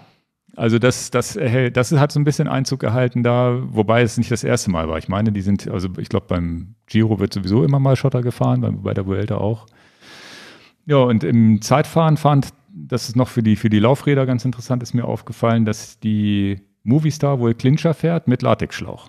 Okay. Ganz interessant. Und, und Alaphilippe ist Scheibenbremse gefahren? Weiß ich gar nicht. Aber ich. Ja, für, für, für, für je Marke fährt denn der Specialized? Oder was? Mhm. Ja, ja, das Schiff, ja, ja. Ja, das hat auch Schadenbremse. Aber hatten wir viele ja. Diskussionen hier schon in, in unseren YouTube-Videos, die wir so produziert haben. Ja, ne, und das war so das, was mir so aufgefallen ist. Die Rennen waren extrem spannend mit Windkante und sonst wie. Und jetzt kommen die letzten drei Bergetappen. Also der Podcast, heute ist Mittwoch. Ja, Donnerstag. Der Podcast geht morgen live am Donnerstag. Genau. Und ich denke, die entscheidende Etappe ist dann Freitag. Würde ich auch denken, ja. Gut, und tatsächlich Sonntag muss man da muss man dann auf jeden Fall sehen, dass man mit einer Leiter vorm Fernseher steht, damit man auch über die Zuschauer hinweg gucken kann. Aber wer jetzt noch, also wer jetzt noch nach Paris fliegt und einen schönen billigen Flug kriegt, ja. wo müsst ihr stehen? Ja. Am Ende von Rue de Rivoli, okay. wo es Abbieger gibt zum Place de la Concorde. Dort habt ihr den besten Spot. Alles klar. Gut, dann sind wir jetzt durch mit der Tour de France und allen anderen Themen. Wer gewinnt sie denn jetzt? Mm, das ist schwierig. Naja, wir sind jetzt hier in einem Lotto-Studio. Nun sag was, ich sag auch was. Also ich denke entweder aller verliebt, Thomas oder Pinot oder. Nein, das war ein Scherz. Sag. Ähm, also, das ist das also Schöne der, jetzt. Der, der, der stärkste, also ich, ich sage das jetzt nicht einfach nur Namen. Der stärkste scheint Pinot momentan zu sein, der eine Chance hat. Gerard, Tom, Gerard Thomas ist nochmal gestürzt jetzt, wo man nicht weiß, was passiert. Emanuel Buchmann traue ich zu, in die Top 3 zu fahren. Gewinnen wird das nicht. Glaube ich nicht. Wäre natürlich krass, wenn dann doch. Philipp muss man gucken, ob der der hat ja gesagt, dass er jetzt, als er die Zeit verloren hat gegen Gerard Thomas, dass er einen Fehler gemacht hat, indem er rausgesprintet ist, dem Pinot hinterher. Und äh, wer ist denn da noch? Bernal gewinnt das nicht. Also ich glaube Thomas, Thomas oder Pinot. Ich, bin sagen wir mal, ich sage mal Pinot. Ich bin mit Gerard Thomas zusammen mal gefahren. Stimmt. Haben wir ein Foto hier? Nee, haben wir also ein Foto, was du geschossen hast. Muss ich hier mal. Freizeit. Da sieht man, wer ist der zweite nochmal? Habe ich vergessen. Stephen Roach. Stephen Roach. Und, Auch ja. Tour de France-Sieger Aber das aus war Irland. Jetzt, wann war das? 2014, ne? Da war er noch gar nicht so. Ah, ich hatte dir diese Strava-Aktivität vorhin geschickt. Und ja. zwar bin ich mit äh, Stephen Roach und Gerard Thomas zusammen von Dünnkirchen nach Roubaix gefahren. Okay.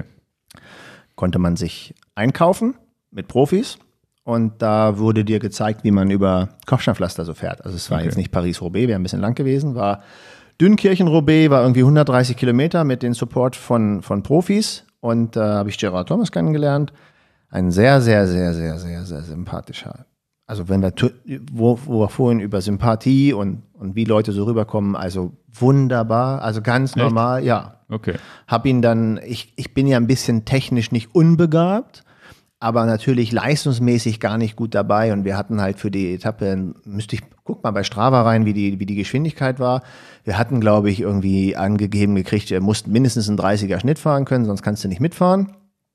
Und äh, Stephen Roach eben ist ja auch ein bisschen älter schon, ne? Mhm. Das muss er auch alles ab, abreißen. Guck mal, ob ich dir, ob ich das. Äh, ähm 164 Kilometer, 5 Stunden 47.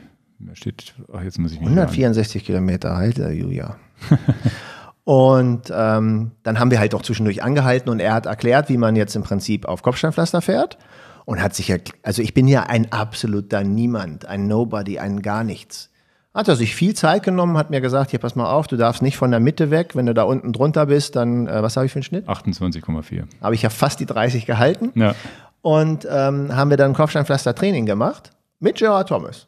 Okay. Also es war super. Also es hat richtig viel Spaß gemacht. Und, ähm, und, der war jetzt nicht schlecht gelaunt, weil normalerweise sind es ja so Sponsoring-Termine für die auch immer ätzend. ein bisschen und war ätzend, super ne? gut drauf. Am Abend vorher gab es ein gemeinschaftliches äh, ähm, äh, Essen. Wenn ich dir jetzt sage, dass es auch noch ein gemeinschaftliches Duschen war, dann verstehst du es falsch.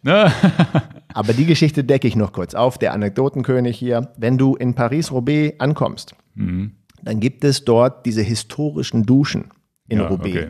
Zu den historischen Duschen kommt man nur, wenn man extrem gute Beziehungen hat. Also in diese alten Kabinen, weil in den Duschkabinen in Roubaix, wenn du ankommst, da hat jede Duschkabine so eine Messingplakette, wo der Name von Siegern eingraviert ist, wo ah, sie ja. dann alle so sind, auch Degenkolb und diese alle, sie haben dann ja so eine Plakette und dann ist natürlich klar, dass wir alle, die die Etappe gefahren sind, waren dann eingeladen, in den historischen hm. äh, Duschen zu machen. Wollte aber sagen, Gerard Thomas, was für ein Sympathieträger und auch wirklich Mann, den traue ich das zu, dass er das dieses Jahr nochmal gewinnt. Also okay. meine, meine Sache wäre, der hat erkannt, wo er Schwächen jetzt gerade noch hat.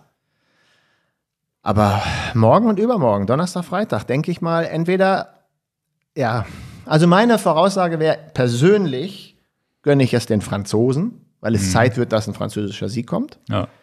Deswegen gönne ich es mehr aller verliebt als Gerard Thomas, weil er hat schon einen Sieg.